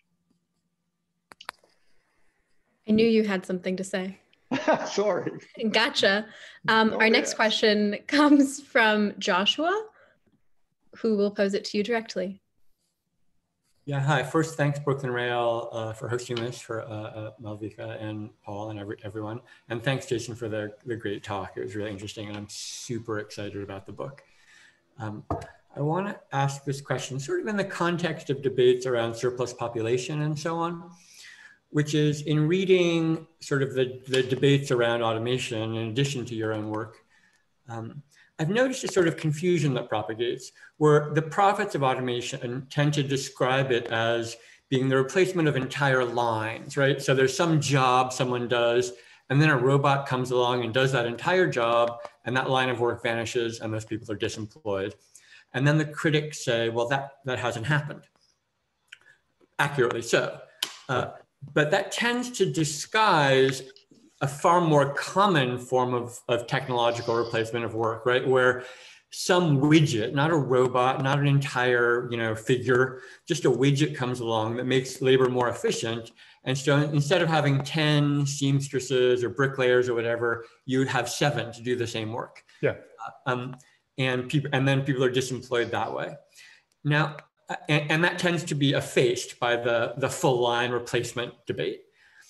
I'm wondering if your argument is, is, as it seemed at the beginning, that that second kind, more common kind of technological replacement of labor also isn't happening, uh, which is to say, thusly, that there is no production of surplus population. That's not happening. Employment rates are staying stable, relatively speaking.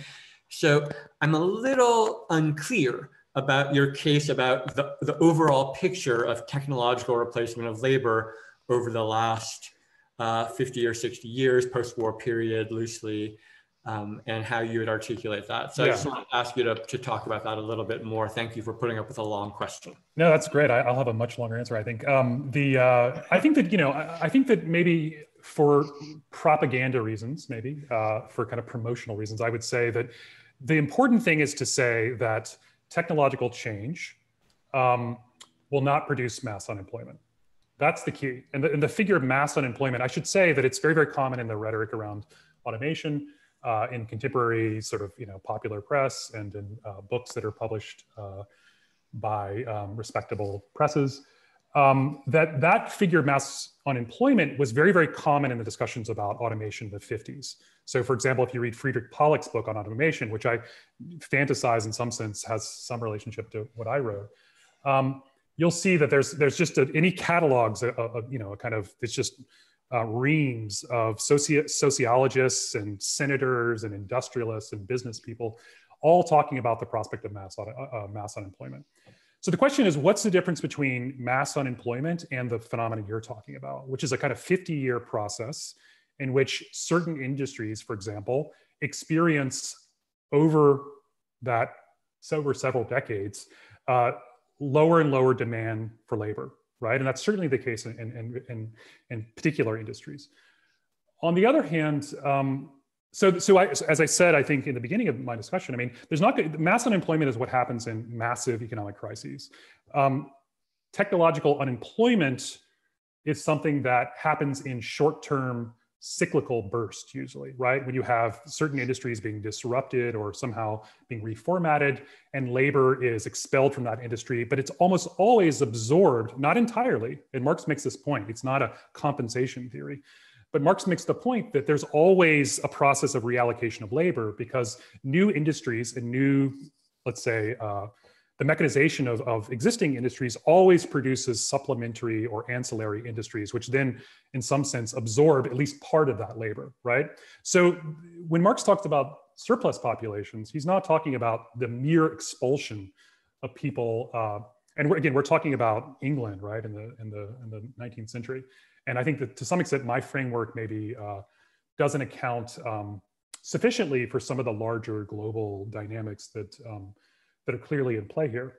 Um, but the point is that there's not a kind of, there's not the claims that are being made for the effects of automation on the labor market um, are wildly incoherent. And they are both theoretically incoherent, but also do not map onto any kind of historical um, pattern that we've seen.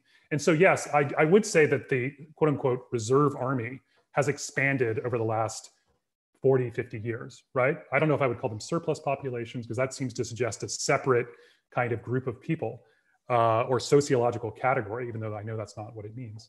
Um, but I, I guess the point I was making simply is that when you have moments of technological change, what you really have is changing class composition. You have jobs that are redefined. And so that, for example, one task is automated, but other tasks are sort of integrated into that job, um, a bank teller, for example, and so on and so forth. And that's a very complex process. Um, and it's oftentimes quite disruptive. Um, but it's not one in which the the foremost kind of specter is not one of mass uh, unemployment. Mass unemployment is what happens in the 1930s. It happens in 2008. Um, so I think that's sort of my answer. I mean, I, I don't know if, again, I, I, think that it's quite crude the way that I put it because I'm really trying to push back against the way that the drumbeat around the relationship between automation and unemployment is formulated in the, uh, in the um, again, in the books that are much better known than mine will probably be, but also uh, the kind of journalistic rehashing of those books arguments that you see every day in Wired magazine, New York Times, and so on and so forth. So, if, if I could just ask a quick follow up, if that's Mal said it was okay, so I'm, I'm, okay. I'm going with it, and I don't want to mess up your your uh, your book propaganda. Um, okay. But it, it seems that if you admit that absorption is incomplete when when lines are when you know when when uh, when certain uh, um, subsectors of the economy do tend to empty out of employment, if absorption is incomplete, uh, which it is, um, then that would imply ongoing uh, increase, absolutely and relatively, of this population who will never find wage labor. Now that's distinct from the, those episodes of mass unemployment you talk about, but there can still be those moments of massive increase in crisis and a secular increase, absolutely and relatively, in people who will never find regular wage labor. So it seems to me you've just argued that there is that increase if, if absorption is incomplete. By definition, that has to be true. Oh yeah, no, I mean the last chapter of, of, of my book, I think it's the last chapter, it's called An Absolute Law. And the term absolute law is actually used by Marx in the chapter 25 to describe the process you're, you're, you're describing. So I, I, I, totally agree with that. I mean, I think it's just orthodox uh, position on some level that hopefully maybe you articulate a little better than I do. Um, what I would say though is that there's a there's a kind of long-term uh, developmental pattern that you're describing, um, and I think that to some extent the exact shape of that pattern, as you know, that we see empirically today, is is is a question that we could all kind of look at and probably have different points of view on. Um, I think the political implications are also, which you've you've written quite ably and um, provocatively and importantly about, um, those are also on the table as well. But I think that the actual process you're describing is totally uh, is the one that's actually under underway. Uh, again, I think that what I was trying to do is try to kind of subtly sort of differentiate different effects that automation in various sectors are going to have on the larger on the larger labor market. That's all. Um, I don't know if it's uh, again. I think the term surplus population uh, is a really really uh, important one, and it has, of course, its source in, in Marx but it's um, it can sometimes lead to misunderstandings on the part of people who are having discussions about what that means, uh, not only in terms of you know historically and sociologically, but also in political terms. And so I guess that's why I I, um, I probably avoid that because it's for me a, a way of um, forcing myself to try to rearticulate something um, that I think is important. So, but thank you for your question. I mean, I, I totally I think we, I think we agree um, in large part. Thank you so much. Um, and now to resume our book propaganda programming. Uh, our next question, I think, will come a little bit back to topics of revolution and sort of uprising. And actually, I'm so thrilled comes from our poet laureate for this event, uh, Brendan Johnson, um, who I think is, you know, also seems to foreground labor uh, from what I have read and heard.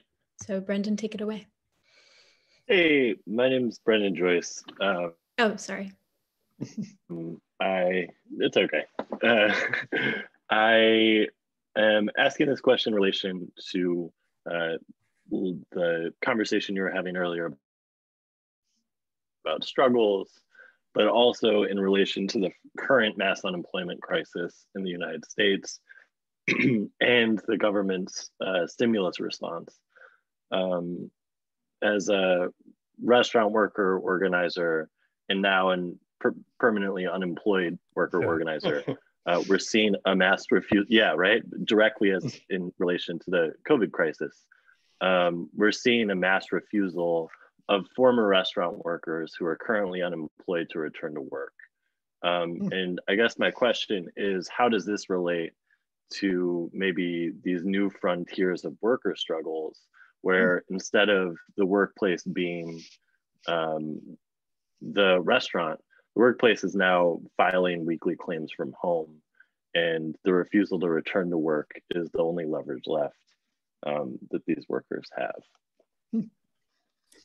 Well, I would just simply point out, I, I, I'm interested in the way you formulate that, right? Is that, of course, people, the idea that restaurant workers uh, would refuse to return to work is something that I, um, I understand um, as, a, as, a, as an idea, but I don't know much about it. So if you have more to say about that, it'd be interesting. Because I, I could, I mean, for example, one element of the refusal surely has to do with the fact that people don't want to get sick and die um, by working, right? And that's a, something that a lot of workers are sort of experiencing over the last eight, 10 months, whatever it's been at this point, uh, is that they, you know, it's, uh, you know, it's uh, work or work and, you know, be exposed to a fatal bug or uh, or not work. But if you have more to say about the refusal part, because it's very interesting, because in some sense, one could imagine a scenario in which in which that work is just simply not available to a lot of people uh, across the US. And so it wouldn't be characterized as refusal, but rather simply a kind of lack of demand. So could you say more about that? Right. So, I mean, both are happening, right? So, right. folks are getting recalled to their jobs and restaurants that okay. obviously cannot operate safely and refusing sure. to return to work. Now, that's a very different interaction than, you know, their former jobs just not existing anymore um, mm-hmm. and not being able to recall, yeah. be recalled but the refusal is something that I wouldn't have anticipated, especially considering unemployment benefits. The expanded unemployment benefits have run out, but right. still in organizing, I'm seeing it. Um, and it's also kind of wild because when you refuse to work in American unemployment systems, you lose your unemployment.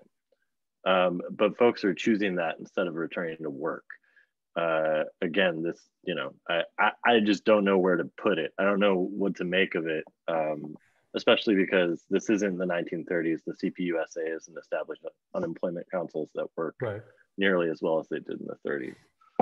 So I just wanted to throw it out there. Yeah, I think it's a really interesting phenomenon. I, I don't know what to say uh, about it. I think that um, people are uh, confronting the possibility that there isn't going to be a restaurant uh, industry of anything resembling what we had before. Um, uh, but yeah, I don't know. And of course, there's lots of risks that people are willing to take uh, under the circumstances that uh, I find really admirable, uh, but also in some sense um, pointing towards the future, right? I mean, on some level, maybe the the the situation we find ourselves in, which is a highly artificial one, we should we should say, right? I mean, like on some level, the fact that there's mass unemployment in in March is because the government stepped in and, and, sort of shut down the economy essentially, right?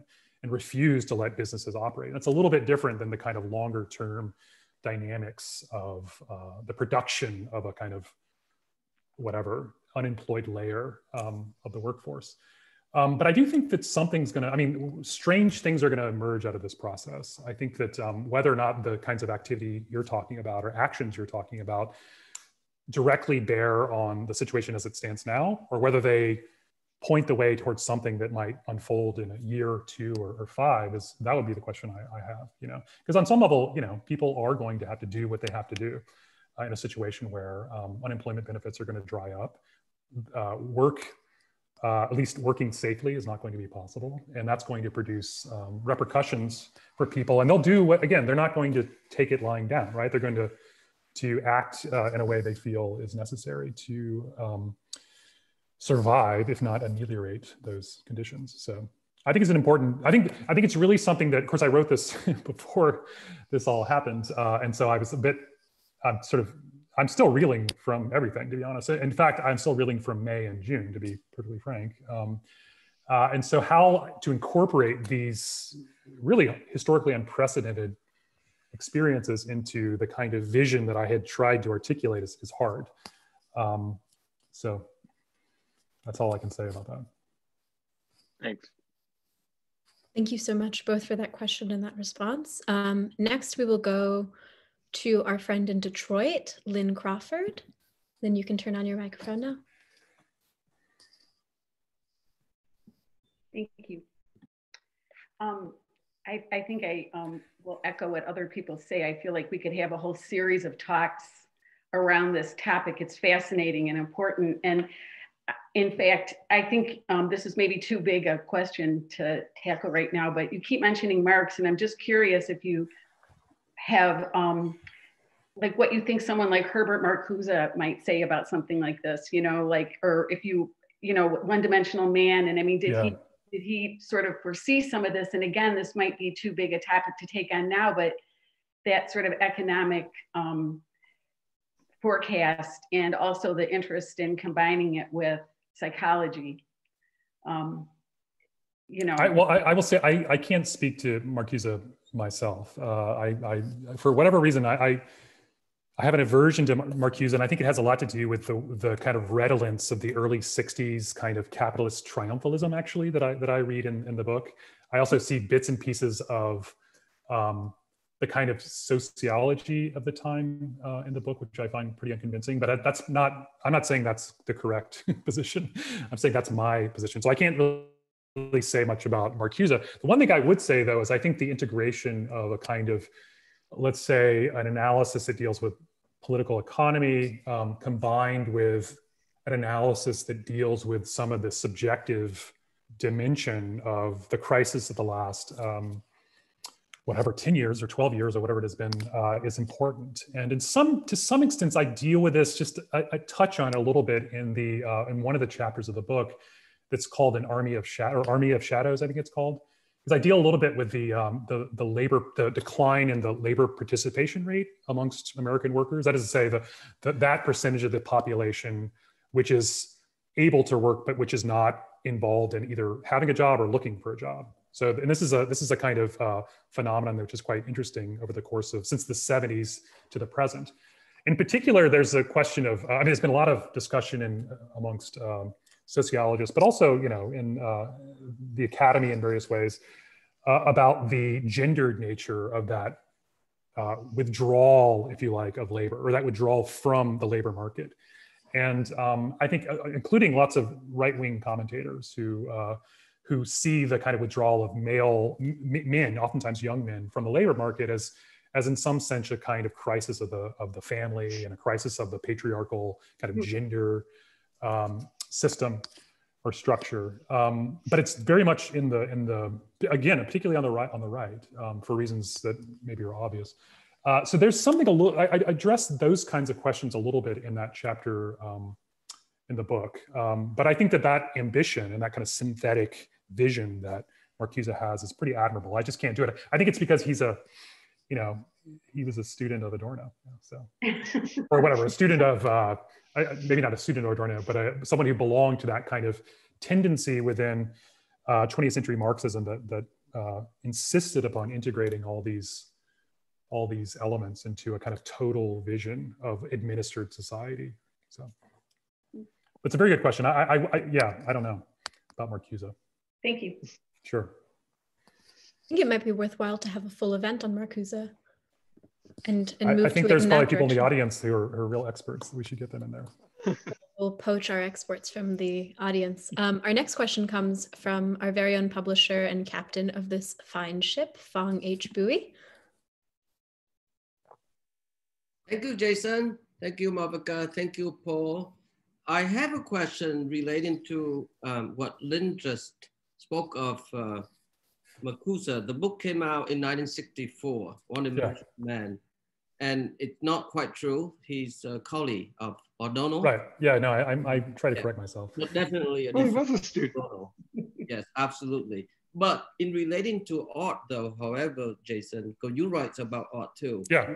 Art, as you do with other philosophical issue, as I do occasionally, certainly with my friend here, Paul, certainly have written about art as well.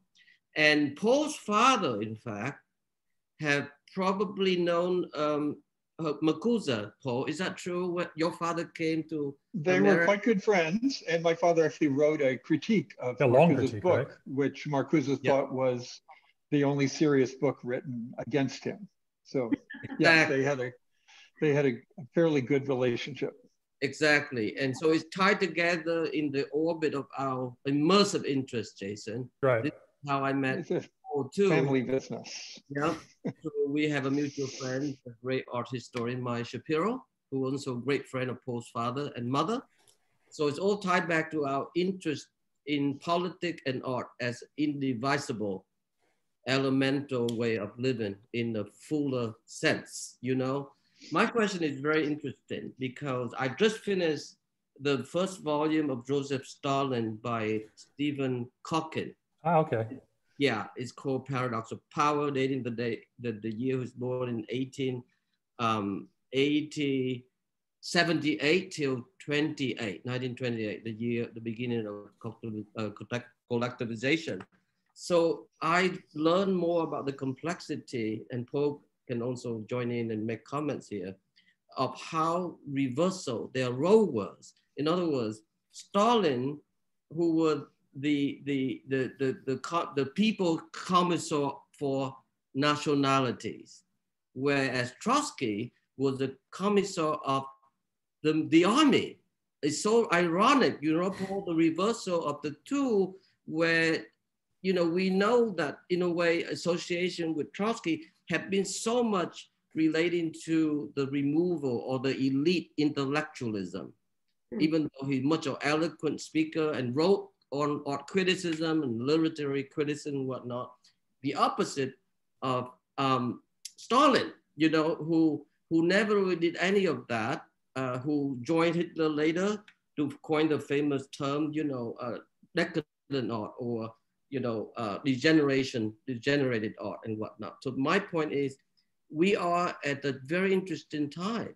Where does the function of art where it fell in Soviet Union, I mean, of course, Stalin knew it was happening when uh, Lenin experienced his fourth stroke, right, Paul? So Lenin died in, in the summer of 1922, and that was the end of the aspiration, the communist utopia.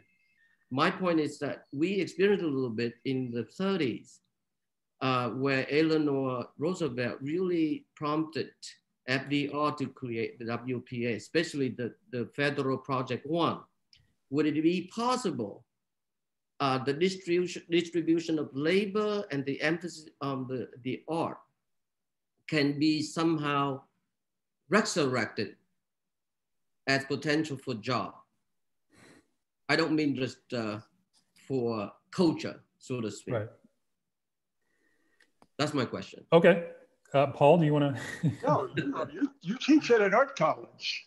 Yeah, I don't know. I mean, I, I think that, um, you know, the idea that you'd have a kind of 30s style um, job creation program uh, that would also incorporate, you know, working artists, Philip Guston, Jackson Pollock, all these people who became, you know, sort of exemplary figures of the American 50s, uh, re- re- requires that you have a certain vision of, of what the state's capacity to intervene economically and socially, uh, socially might be. And I think that's one that is, that ship has definitely sailed. Um, of course, you had in the 70s, you had like lots of arts funding, for example. I mean, one of the interesting things about the 70s in New York is that all the, or much of the most interesting art that was being produced was being produced in the context of these so-called alternative spaces, uh, in which you had this, on the one hand, this kind of massive economic crisis. Remember, uh, you know, New York, it's, what is it, drop dead uh, Ford says to New York. But at the same time, there was, you know, there was arts funding flooding into uh, into the city, both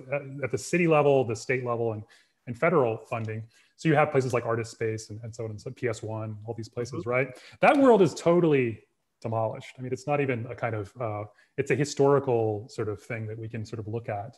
Um, and on some level, I think that the the question of where the art world is in relationship to the actual real dynamics of, of American or kind of global capital society is a real um, is a real problem. And some level, I think that I mean, again, I I, I have lots of very good friends actually uh, and colleagues who are artists, and I, I, I hang out with them all the time, and they're amazing. Uh, and they're also going through the same kind of uh, searching, I think. Um, but I think on some level, you know, what Paul said about cities mm-hmm. can be said about art, right? Which is to say that you have this, particularly the crisis we're in now, the, the, the strange uh, sort of parenthesis that we find ourselves in now. The, the real function of, of the great metropolitan centers, London and New York and Paris and that sort of thing, has been revealed in some sense.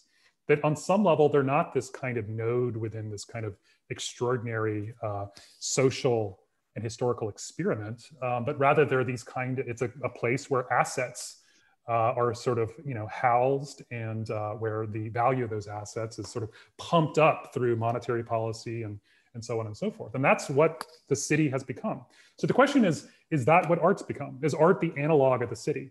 Is there is there some kind of intimate connection between real estate it's also for money laundering right well i was i was that's essentially what i was i was suggesting right it's like i think that um, art is in some sense the, the fate of art and the fate of real estate particularly in new york city uh, really has to be thought together in a kind of way um, that uh, would be productive. And I think that on some level, that was the case in the 70s in a very different sense. I mean, look at what the 70s looked like, right? You have these kind of demolished uh, uh tenement buildings that are just literally in rubble, uh, rats running everywhere. And then you have this kind of, you know, a sort of stripped down kind of punk uh, aesthetic coming out of places like Collab and places like that. That's not what you have now, right? You have these kind of gleaming towers and you have the art to match the gleaming towers that are empty because they're owned by oftentimes uh, you know oligarchs uh, from wherever and so american and otherwise and so i think that's the that's the question that art has to struggle with of course there's all sorts of interesting things happening in in the art world um, that have nothing to do with that and i i talk about it with students all the time uh, but i do think that's the that's the dilemma that art has to face is are we essentially a kind of asset class uh, that whose whose development now is tied to kind of asset bubble type of logic, just like real estate. Yeah, that's, that's a real dilemma. Yeah, no, it's not. It's never been a dilemma. I mean, artists are resilient to be able to adapt with any given condition. I mean, this is what we learned in, in Scandinavian culture countries where declaring yourself as an artist, you get incredible uh, governmental yeah, that's sports. Uh, yeah. Uh, but it doesn't drive the artist to make great art. I mean, many of my friends in Denmark and Sweden complain to me about this. You know, uh, my my uh, yes, I as I'm about to prepare for my interview with Theaster Gates, there's a lot of different prospect and and imagining possibility what what that means. So I'm trying to think about that. One last thing though, which I love to share to Paul and you is that we tend to forget that Marcuse, Paul, work, work for the, the Office of Strategic Service. And for the CIA. That's right. Well, Afterwards. That of CIA. That's why we don't quite trust them. But anyway, oh. back to you. Thank you, Jason. Thank you, Phong. Thank you all so much. Um, I feel like preparing for one's conversation with Theaster Gates is like the perfect metaphor for this this discussion we're having right now about sort of the, the what you were saying about the fate of art and the fate of real estate being combined. Um, not to get too personal, but I'm tuning in from the south side of Chicago, where Theaster Gates has uh, has excelled both at the same time. So, right. Um, I, I, would love to swerve actually here. We've we're, we've moved to to thinking about art and commodity, but we have a very lovely question about art and uh, art and labor. Um, so I'd love to go to Michael Krasowitz, who you can turn on your microphone now. Hello, this is a brilliant conversation, and this is a conversation we have over the dinner table almost every day with my family, um, in some form or another. Um, recently, I went, I drove through a Trump rally, and it was fascinating to experience. But I, yeah, last night I was uh, listening to a lecture about Millet and his uh, uh, paintings, The Sower and the Gleaners. And I was wondering um, what would be the equivalent to The Sower and the Gleaners today?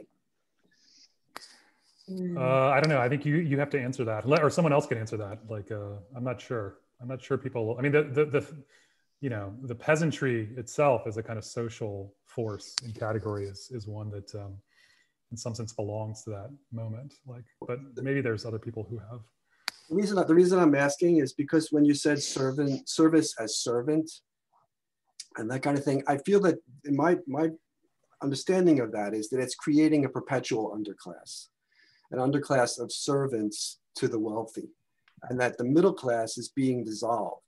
And I think that when Millet made, made these paintings, it had a profound effect on the middle class and the, uh, I guess, the professional class to make change. And that's why I'm asking that question, whether there's some kind of equivalent that would, would create some kind of a change within our culture so that maybe the wealthy people would think more about redistributing wealth and that kind of thing. I think that, I think honestly, uh, and again, I, all my best friends are artists, um, but uh, I think that, you know, what we saw in May, late May and early June is much more likely were it able to sustain itself or, or maybe take some kind of mutate into slightly different form, maybe in certain cases, is more likely to provoke um, not rumination, but real, a real response on the part of the, the capitalist class or the, the wealthy or what have you. Um, I don't think that um, the, an ideological kind of cultural front, if that's the right way to put it, um, would be that effective in the current context. First of all, I should just say the bourgeoisie, if, if, if let's, let's call the capitalist class, I don't know if it gets to call itself the bourgeoisie anymore, uh, they've given up on culture. That's that's the one thing that we should all agree on. That it's not that important to them, except as maybe a kind of asset class or, or what have you. And on some level, I think that um, that's an important feature of contemporary art since the 70s. Is there's been just this kind of disinvestiture, to use a term that uh, I picked up, I think from Hal Foster at some point. Um, but there has been a kind of abandonment of the cultural uh, sphere as a kind of place in which the bourgeois class or the bourgeoisie could in some sense articulate its its vision of the world as if it had one um, and uh, i think that's an important part of the equation so if you if you accept that as a kind of condition for answering the question then the question is like why would cultural uh, activity of the sort you're describing particularly art um, uh, why would it have an effect on that class I, I really feel like there's a kind of material confrontation that is at stake in the question that you're asking. And on some level, one has to exact something from that class rather than convincing it of anything because they have too much at stake in not in not being convinced you know? They have apartments and uh, their children and go to very very prestigious schools and intermarry with each other and and uh, have nice jobs. And so i think that that's the um, that's my take on art. I mean i didn't think we were going to talk about art today but of course the context makes it makes some sense now that i think about it. Um, but that's sort of my my feeling. I don't know if that's a pessimistic one, but I, I don't think the cultural um, side of the equation uh, has a great role to play in the kind of transformation that at least I envision. Thank you so much for that answer. Um, our next question will come from Carl Kelleher, who you can turn on your microphone now. Okay, uh, thank you, and thank you for writing this book and uh, the hosts for putting this together. Um, so, it, my question is is kind of almost follows out of uh, your last answer, perhaps. Um, your story is one element of the story is capitalism is becoming pretty great at generating more and more, as you put it, industrially organized servant work and my question is really how you see worker militancy in personal services. Um, so, as you were saying, like personal services, they rely on ethical bonds, uh, values like trust and care, nurturing bodies, and withholding that kind of labor would seem to pose really strong ethical tensions that are not there for factory strikes. Like we would not want to do factory work. We would still want to do care work uh, so really just like what what do you think of like care worker militancy would look like if not as strikes? Yeah well i think that's the um, that's that's the question. I mean this is a question that was addressed at great great length in kind of the early 70s by kind of italian feminism. Um, and I think it's something that's really, really at the center of contemporary considerations of what forms struggle can take and what sort of obstacles they encounter. And I think that the, um, you know, I think I touched on that a little bit earlier, right? I mean, like on some level, the question, even if for teachers, right? I mean, like the, if you, I think of something like industrial strikes, I think of a Lordstown, for example, in the early 70s, right? That, you know, workers are just like I'm sure it was quite fun on some level to sabotage, you know, Chrysler's or whatever it was uh, by putting a, a pin that rattles in the in the in the dashboard or something like that, or to maybe like not screw in that you know that that bolt as well as you should, so that the cars uh, essentially not only um, are kind of uh, disasters, but in some sense the the brand itself of Chrysler or whatever. I think for I know when I was a child, Chrysler was considered this awful, just disastrous uh, American you know industrial product. Um, so I think that's you know there's no there's no love lost in that context, right? Whereas in the uh, in, a, in a care uh, whatever professions, if you like, um, or those jobs which require that kind of skill, um, there is a kind of deep emotional um, often you know kind of ethical tension involved and i think that is an obstacle to organizing but again i think that the feminist movement in italy is, is really in some sense um, the early 70s was uh, very very attuned to this question. Um, and i think the question might take a slightly different form in the present uh, but um, i would say that's the place to, to look fortunati people like that.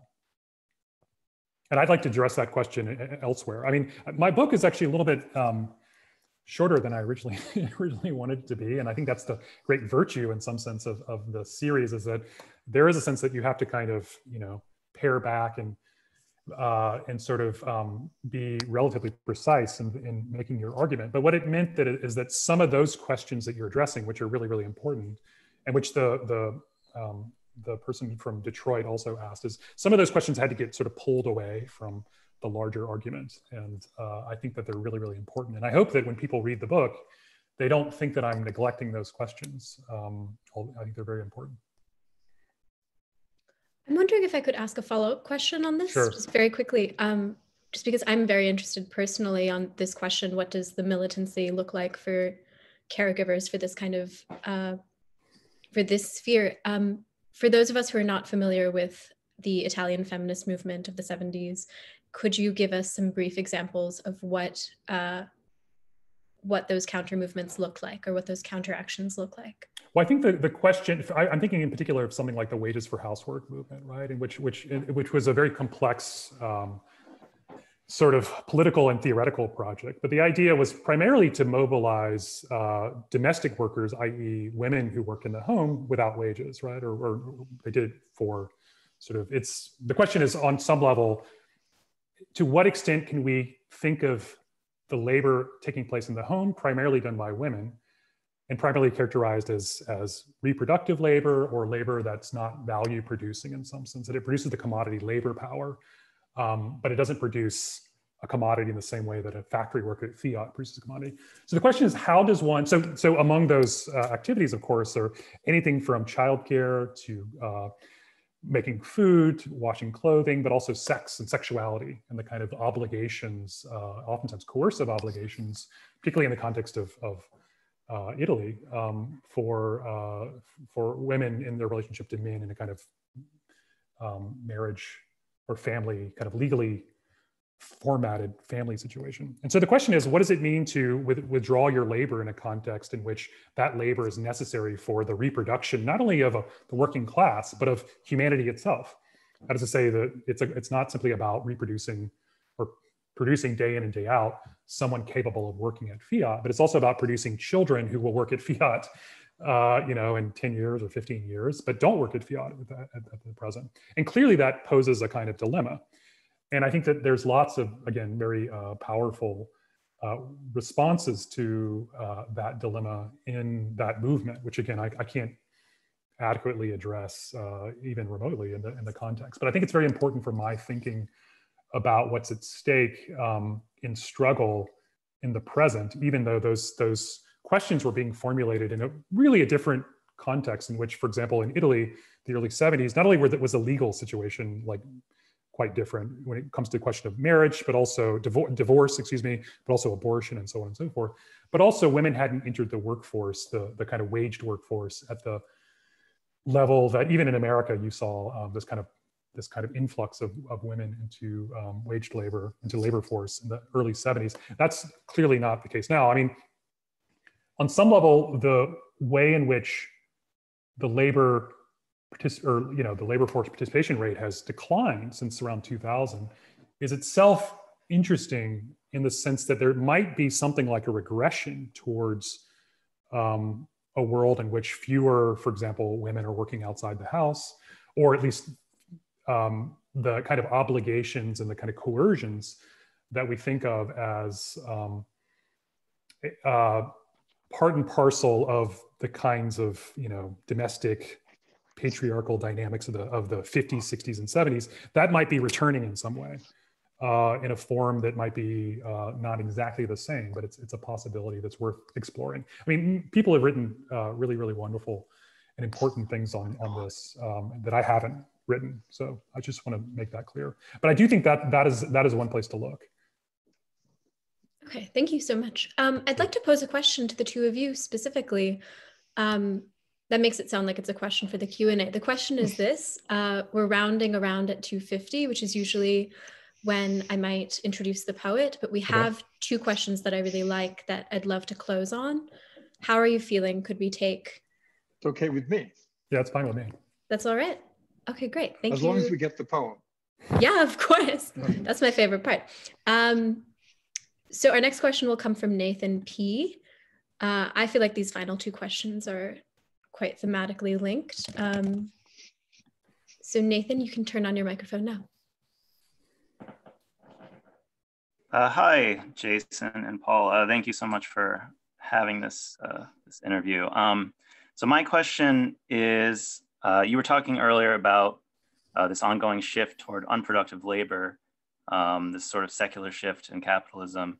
And I was wondering uh, if you think that is indicative of some kind of terminal crisis, uh, or if there's some way in which uh, accumulation could be renewed through some kind of process of capital destruction or something else leading to a restoration of value producing work. And I think this question also relates to a couple earlier ones on like the possibility of uh, restoration of social democracy uh, from, uh, I think, Jacob Blumenfeld and Pavlos Roufos. So I was just wondering uh, what you what you think about that. Okay, is that do, do you want to do both questions or, or uh, one at a time, Malvika? One at a time might be. Okay. Yeah, I mean, well, this might be a this is a, probably a Paul a Paul question on some level. I mean, I think that on the one hand, uh, the the question that you're pointing at, I think, is this idea of a a kind of secular trend in the profit rate. Um, that is to say that on some level, there's a relationship here between the rising ratio in relative terms of unproductive activities to productive activities, which insofar as product, unproductive activities are a cost to capital, that is to say they're necessary for circulation of value and for the valorization of value, but they are in some sense not themselves value producing, then that rising ratio of unproductive to productive uh, activities is going to put downward pressure on the profit rate. So the question is, what are the counter tendencies that would would counteract that pressure, right? Because that, that's really the the the issue. And I, I talk about this uh, in the book for sure. I think it's chapter four, uh, four or five. I can't remember. Um, so I'll just say that I, I point to that question. I mean, one of the issues, of course, is that you have essentially a, a I'm going to try to say this that doesn't sound too clunky, but you have a kind of differential rate of productivity gains in the two broad sectors. So if you divide the economy into the productive value producing sector or part, and then uh, on the other hand, a kind of unproductive sort of uh, non-value producing part, then the, the question is like, why is there a rising ratio of unproductive to productive?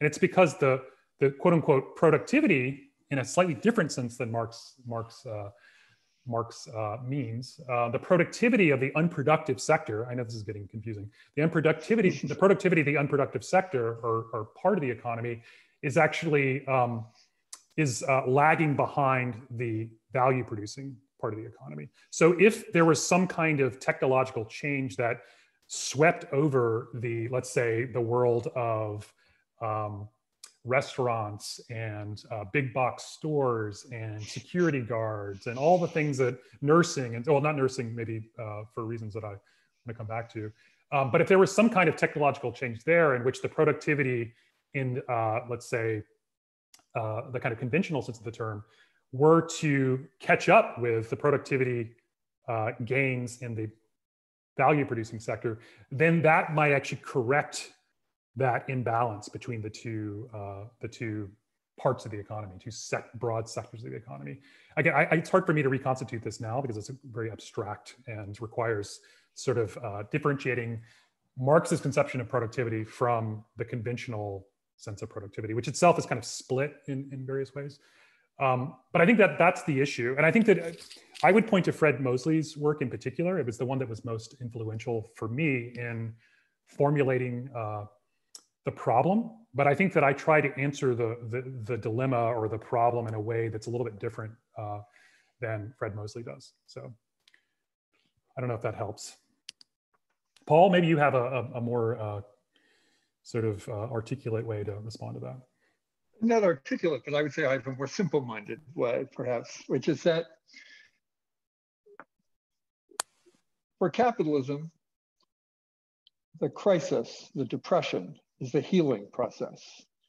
The fact that there is a, the fact that you have a stagnant economy, the fact that you have slowing investment, the fact that productivity is not growing, are all, as Jason said earlier, and as he demonstrates in the book, a result of the failure of capitals to invest. There's huge amounts of cash, but it's not profitable to invest it. That's why instead of investing it in production, it's used to make short-term gains in buying art or real estate or um, just having fun. But um, so it, it at the same time, you couldn't, you can't say you you with one, except for one thing, you could not say that capitalism is finished, even though it is now in a period of long-term stagnation and is, you, it's obviously gotten itself in, a, in an economic position, which is very serious and very damaging. In theory, if you just looked at it from the point of view of the three volumes of Marx's Capital, in theory, there would be an escape. The escape would mean that the people who run the world would have to really allow to have a full-scale depression like that of the 1930s, but much deeper because now it would involve the whole world. Now it would involve China and India, not just Europe and America. The whole world would have, you would have to have an enormous, you would have to have, you know, the enormous unemployment and you would just have to throw people out in the street and let them starve to death in huge numbers. They have been avoiding doing this since the middle 1970s when the crisis tendency reasserted itself for the first time after the Second World War and they're still avoiding it. Every time uh, some the the specter of a full bore depression uh, shows itself, they get very busy and print more money and hand it out and keep the thing going for another year or two years or three years or now it's sort of three months at a time because they just they, they really don't know what to do other than print another three trillion dollars and hand it out and to keep the banks open for a while longer. So eventually they will try to do this as long as they can. And if they cannot continue or if they miscalculate, then the the only alternative would be to really accept a full bore depression. And it is possible that with that level of destruction of capital and that level of destruction of labor, that means killing hundreds of millions of people, it would be possible to reconstitute capitalism, except for one thing, which is that at the same time, these idiots have completely destroyed the possibility for life to continue on Earth for another hundred years with the global warming. That capitalism having based itself on fossil fuels in the, in the 19th century, uh, and the fossil fuel industry now being the largest and most powerful of all capitalist industries. They're the top, they're still the, the top earning industries in the United States. They are not going to just say, oh, that would be so sad if humanity died, because that doesn't really, you know, as Keynes said, in the long run, we're all dead. So maybe their grandchildren will have to have to deal with it. But right now, they're not going to deal with it. So they're not going to have a Green New Deal. They're not going to stop economic growth. They're not going to stop burning fossil fuels. And as a result, the earth is just going to burn up and flood. So it, even apart from the, the tendential fall of the profit rate, people have maybe 50 years to stop capitalism, or else you will have the, the same hundreds of millions of people are going to die anyway, because the system physically, for the, because of the laws of physics, chemistry, and biology, is not going to be able to exist for another hundred years. They have just, they have now just made it impossible. we're you know 20 years from there being from the total disappearance of the water supply of India and South America.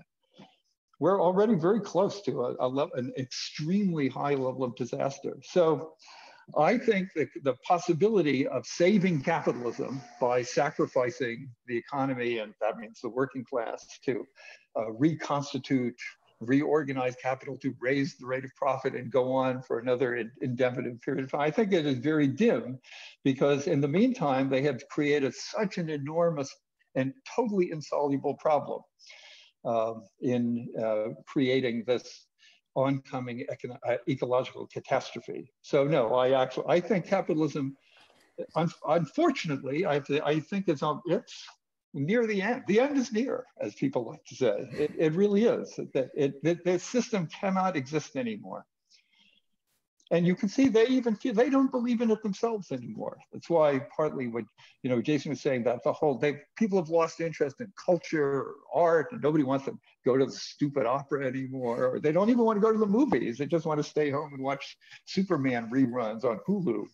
You know, the whole the people are just don't know what to do. There is other than to, I don't know, buy a new pair of jeans, have fun, and go to a fancy restaurant. And now you can't even do that. Now they now they've even made it impossible to have the the stupidest of all consumer pleasures. So I think we're in a very serious and difficult moment, and a unique moment in human history because of this very specific dynamic of capitalism and the fatal choice that was made to base the whole economic system on the exploitation of fossil fuels 150 years ago. And now they now this has to be dealt with. People will have to put an end to it or they will just we will just go out of existence. Well said. For what that's worth. Thank you. I'm trying to think of how to respond to that. I can't. I'm, I'm just, Paul, you're so deeply eloquent about such terrifying things. Um, I would love to go to Jacob Blumenfeld's final question to close, if that's fine. And you can turn on your microphone now.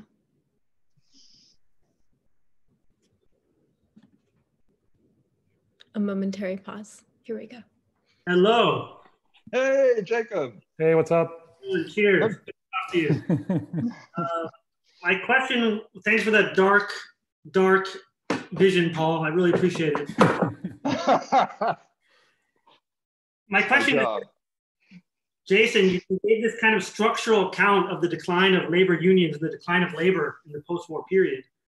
And I'm wondering if you also read social democracy that way, and the decline of social democracy in this kind of in the structural macro account. And if so, how do you interpret the calls to revive social democracy today, both politically and economically? It's also for Paul, but for both of you guys. Yeah, I'll, I'll be quick, and maybe Paul has a has another kind of rousing, uh, if terrifying, answer um, to the question. But I, I think I, I uh, maybe in a crude terms, I would say my my perception of the calls for a kind of reinvigorated or kind of uh, resurrected social democracy are the same feelings I have about the calls for a rebirth or a resurrection of the old labor movement. I think they depend on each other uh, pretty profoundly. And um, on some level, the great successes of social democracy, which were, it should be pointed out, were both in some sense uh, achievements of the workers movement, but also in some sense a kind of self-undermining um, result of the struggles undertaken by workers that the, uh, the social democracy depended on a kind of capitalist dynamism, and in particular, the capacity to redistribute in some form the kind of gains that were being made uh, in productivity and also in, in, GDP growth, to use that sort of um, not always useful category. Um, and that all of those, that, that the two, in some sense, um, represent in some sense like uh, part of a single historical phenomenon or configuration in which the labor movement, of course, you can say the labor movement is itself kind of split between a, a kind of accommodationist dynamic that, that struggles internal to uh, the capitalist development in kind of broader terms. Of course, you could say that in fact, it's the labor productivity itself, the gains in labor productivity, the kind of compulsory or the demand or the ineluctable urge to mechanize labor processes is itself a result of struggles against work uh, in the early phases of the of the um, in the infancy really of the labor movement. Um, that's totally a, a, plausible scenario. So that in some sense, the mechanization of labor is a result of workers a is an outcome of worker struggles. Uh, and of course, there's other aspects of the work, or there's other dimensions or currents within the, the labor movement, which um, could be seen as opposed to that dynamic or sort of operating in a, in a different framework. Um, so yeah, I mean, so I, I, think the, the calls for, in, in a way, what's what's fascinating is that is that the rebirth of the labor movement um, in its older form, the kind of industrial unionism of the 30s, for example, uh, or whatever it is, uh, the AFL-CIO, which is hardly a, uh, you know, the most um, optimistic vision, if you ask me, of the 50s, um, that those are off the table. And they're off the table for the same reason that uh, social democracies off the table because the kind of mech, the kind of internal dynamics of capitalist development, but also transformations or, or kind of the decomposition of state capacity um, that we uh, that I mentioned in passing earlier um, have all led to a situation in which the only options are, in a certain sense, a kind of um, insurrectionary response to the situation or a kind of further degradation. And I, I don't know if, if, that's kind of a, an appealing opposition, but I think that that's, and of course, the, the results of that insurrectionary response itself uh, are, are, not necessarily promising. Um, I wouldn't want to say that, but I think that that's, that's the scenario um, we're looking at. And by insurrection, I mean something like um, what we saw in May and G early June, but on a much, much larger scale. Um, not only, uh, you know, of course, that was taking place across the country in a kind of amazing and still dizzying uh, kind of uh, simultaneity, um, but also an intensity in terms of the, the, the sites that would be um, subject to kind of action, collective action. Wouldn't be simply anti-police struggles, but it might expand elsewhere. Um, so yeah, I think it's off the table entirely. And I think it's really, really a waste of time almost uh, to devote oneself to uh, that vision of politics in the present. I think it's a waste of time, almost in, in, the kind of marginalist sense of a kind of opportunity cost, you know, like so much effort is being poured into um, both thinking about and sort of programming in some kind of think tank way a social democratic future, but also uh, just resources, people's intelligence, their time, their energy all that's being dumped into a kind of project, which I think in some sense um, is historically um, off the table. So I don't know if, if that makes sense to you, Jacob, but that's my, my spontaneous response to your question.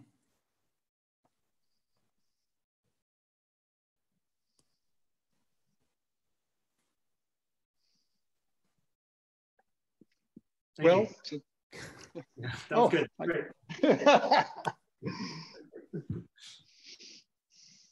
No, that's it. Paul, do you have a, uh, a follow up or no? I, question? not really, because I, I I think you said it very well and very clearly that uh, you know already at the beginning of the 20th century, social democracy revealed that what it was was the organized practice of class collaboration. And you can be for that or against it, depending on your point of view about class society. Uh, but it also requires certain preconditions. You can the classes can only collaborate when they have a general interest. Right, That's right, the basic right. idea of democracy is that there is a general interest that society shares. And, and, we're living at a very interesting moment politically, especially in the United States, but also in Europe, where it's very clear there is no longer a general interest that's constantly being, there's a constant yakking about there's too much disunity and polarization. That's to say there are real now interest, differences of interest are, have become unbridgeable. And Jason explained, I think very well, what the ultimate cause of this is, is that uh, the, the decline in the the end of that constant increase in the productivity of labor, which created a surplus that could be divided. So a little bit went to the working class, while most of it went to that the, the fabled one percent. Uh, but that is no longer being produced. So there is no longer anything to share. So the people who want to revive this old idea of social democracy are completely wasting their time. The whole idea that somebody would take seriously for 10 seconds the idea of Medicare for all, when every country in the world that has Medicare for all, like every European country which has public health care, is destroying it, is taking it apart. Every European country is privatizing their healthcare system. Europe, uh, England, which had a fantastic national healthcare system, sold it to American healthcare corporations.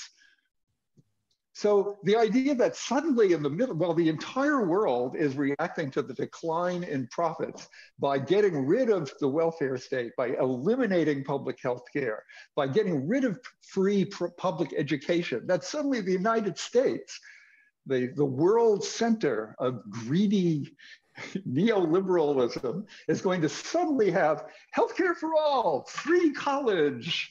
Uh, it's so completely insane that the idea that a, a, a rational grown-up person could, could take this seriously for 10 seconds, unless they're getting paid for it, makes no sense at all. Of course, the truth is that the people who are interested in social democracy mostly have found a way to make a living with that interest. There are think tanks and magazines and professorships, and there has nobody is yet willing to say that we really have reached the dog eat dog stage now of capitalist development. So there still has to be a certain amount of blather about it must be possible to reconstitute the general interest and everyone should get together and think about a better future for humanity. So all this stuff, somebody has to say that stuff because otherwise you would have to face down the barrel of the climate catastrophe gun and just say, unless we radically change the social order, we're really, really, really fucked. So I think uh, this is this is not a historical moment for social democracy, to put it mildly. Cheers. I wish I had your drink. I would the same to you. Uh, thank you all so much. Thank you, Paul. Thank you, Jason. Thank you, Jacob, for that question. Um, thank you. yeah, I want to second what was put in the chat. Uh, thank you for this rousing but terrifying conversation um, that has given us a lot to think on. Uh, I'm so happy to welcome our poet laureate of this lunchtime, Brendan Joyce. Uh, Brendan Joyce is a busboy and poet from Cleveland, Ohio. His poems have appeared in Johannesburg Review of Books, the Brooklyn Rail, and Pandemic Publications, as well as on Twitter. Uh, big ups to that. He is the co-organizer of Grieveland and the author of Character Limit and Love and Solidarity, which I will drop links to in the chat. I'm very fascinated by both these publications. Uh, but everyone give it up for Brendan Joyce. Hey, um, welcome to my bedroom. Uh, and thank you to the Brooklyn Rail and the organizers of this uh, conversation and participants for this amazing um, discussion. I'm going to read a few poems, uh, kind of responding to uh, the topics uh, at hand um, from Love and Solidarity. Uh, can you see that or is it washed out? I think it's pretty much washed out, huh? Um, there we go yeah, there we go. Um, but yeah, so these are from a long poem, Weekly Claims, and then a long poem, Exit Strategies. Uh, nothing is dead. I have heard more voices than I thought were still living in the tinny tone of my smartphone, bickering and reimagining the context of struggle. I cannot be anything but hope as this empire of ashtrays further incinerates, its disappearing handout can I hold you? I used to think a century was long, like I thought a $100 was a lot. I take comfort in how wrong I've been. Before, I would eat off of anybody's plate in the dish pit, starving and hated for such brazenness. I'd wash my hands so many times a shift that the space between my knuckles would turn into little spiderwebs of dead skin. Hygiene in the restaurant was a stage whisper. Now I wash only my hands in the groceries. Whoever cleans a place knows its ghosts and becomes them. The unemployment office is telling me I didn't earn those unreported tips. I didn't earn those plates I ate off of either. I just took them and hid, hated, and ate. Give a capitalist a beautiful and capacious phrase, and they will commit genocide with it. Instead, ask them for seed money for your burgeoning cooperative corner store where all the trash cans outside tell you how much the cigarettes will cost, your various invisible interiors. In the grant, we will call this community. Everywhere that isn't the ride is hell. When the earth opens its endless mouth, all I want is pleasure. I left the ice cream on the counter every night. Every morning, a new surprise of spoiled delight. The morning rises and then is quelled. Everywhere that isn't the riot is hell. They keep trying to send us back to work, but they're too late. The light's already changed. You can tell. Everywhere that isn't the riot is hell. The face of every diner is rain colored. The pageantry of protest strategies echo through the state's appendages. Six laps around the park, soundtracked by unemployment hold music, and me waiting for a text from another crush. Anticipation lives everywhere. My history teaches me my neighborhood is just an assortment of porches that have not yet been torched. Love songs to stolen wages with hanging plants attached. We should have burned every restaurant in city limits, but the night sprawled in too many directions, too much to get through in one sitting, like the skirt steak a patron paid for and insisted I box and then left. Jersey barriers spray painted with the police shield, become security to protect the manicured purgatory of restaurant patios. The patio furniture is learning to talk back. Good fences make excellent burglars. The face of every diner is rain colored. 14 houses in a block turn to soot, and one day we'll do the breweries. Body builds itself a mind. The engine of this city is various tourist traps. I traipse around the tourist trap with turbulent rumors and tremors. I have an evil urge to drive west. The height of productivity is death. The face of every diner is a security system. Good fences make excellent burglars. The pageantry of protest strategies echo through the state's appendages. Thanks, everybody. Thank you. Thank you so much. Give it up for Brendan Joyce, everyone. Hey, hey. I feel like I, I took a lot of notes for for lines I got to remember. Um, thank you so much for that reading, which I feel like was just perfectly in, in tone. Yeah, for sure. For for our conversation today, uh, and thank you for everyone who tuned in, everyone who was here in the comments, asking brilliant questions. Thank you again to Jason and to you, Paul. Uh, please join us again tomorrow when we will be joined by beloved ArtSeen editor Amanda Gluibizzi for a conversation on our October Critics page, which she curated and which features a selection of essays focusing on the edges of paintings. So uh, they sort of explore the edges of paintings as conventions and then as inversions of those conventions and as sites of resistance. She will be joined by Laura Lisbon, Suzanne Silver, and Squeak Carnwath, as well as our fabulous managing editor, Charles Schultz. Uh, and that will close with a poetry reading from Steve, Steve Benson. That will be, as always, at 1 p.m. right here in the Zoom. Uh, other than that, thank you so much for tuning in. And you should now be able to turn on your microphones and say goodbye as you leave and have a great rest of your day. Thank you. Thank you so much. Jason. Thanks, Jason. Thanks, Paul. Great conversation, Paul. Great conversation, Jason. Thank you. Thanks, Brendan. Thank you, Brendan. Thanks for that great read, Brendan. Thank you, Paul. Thanks.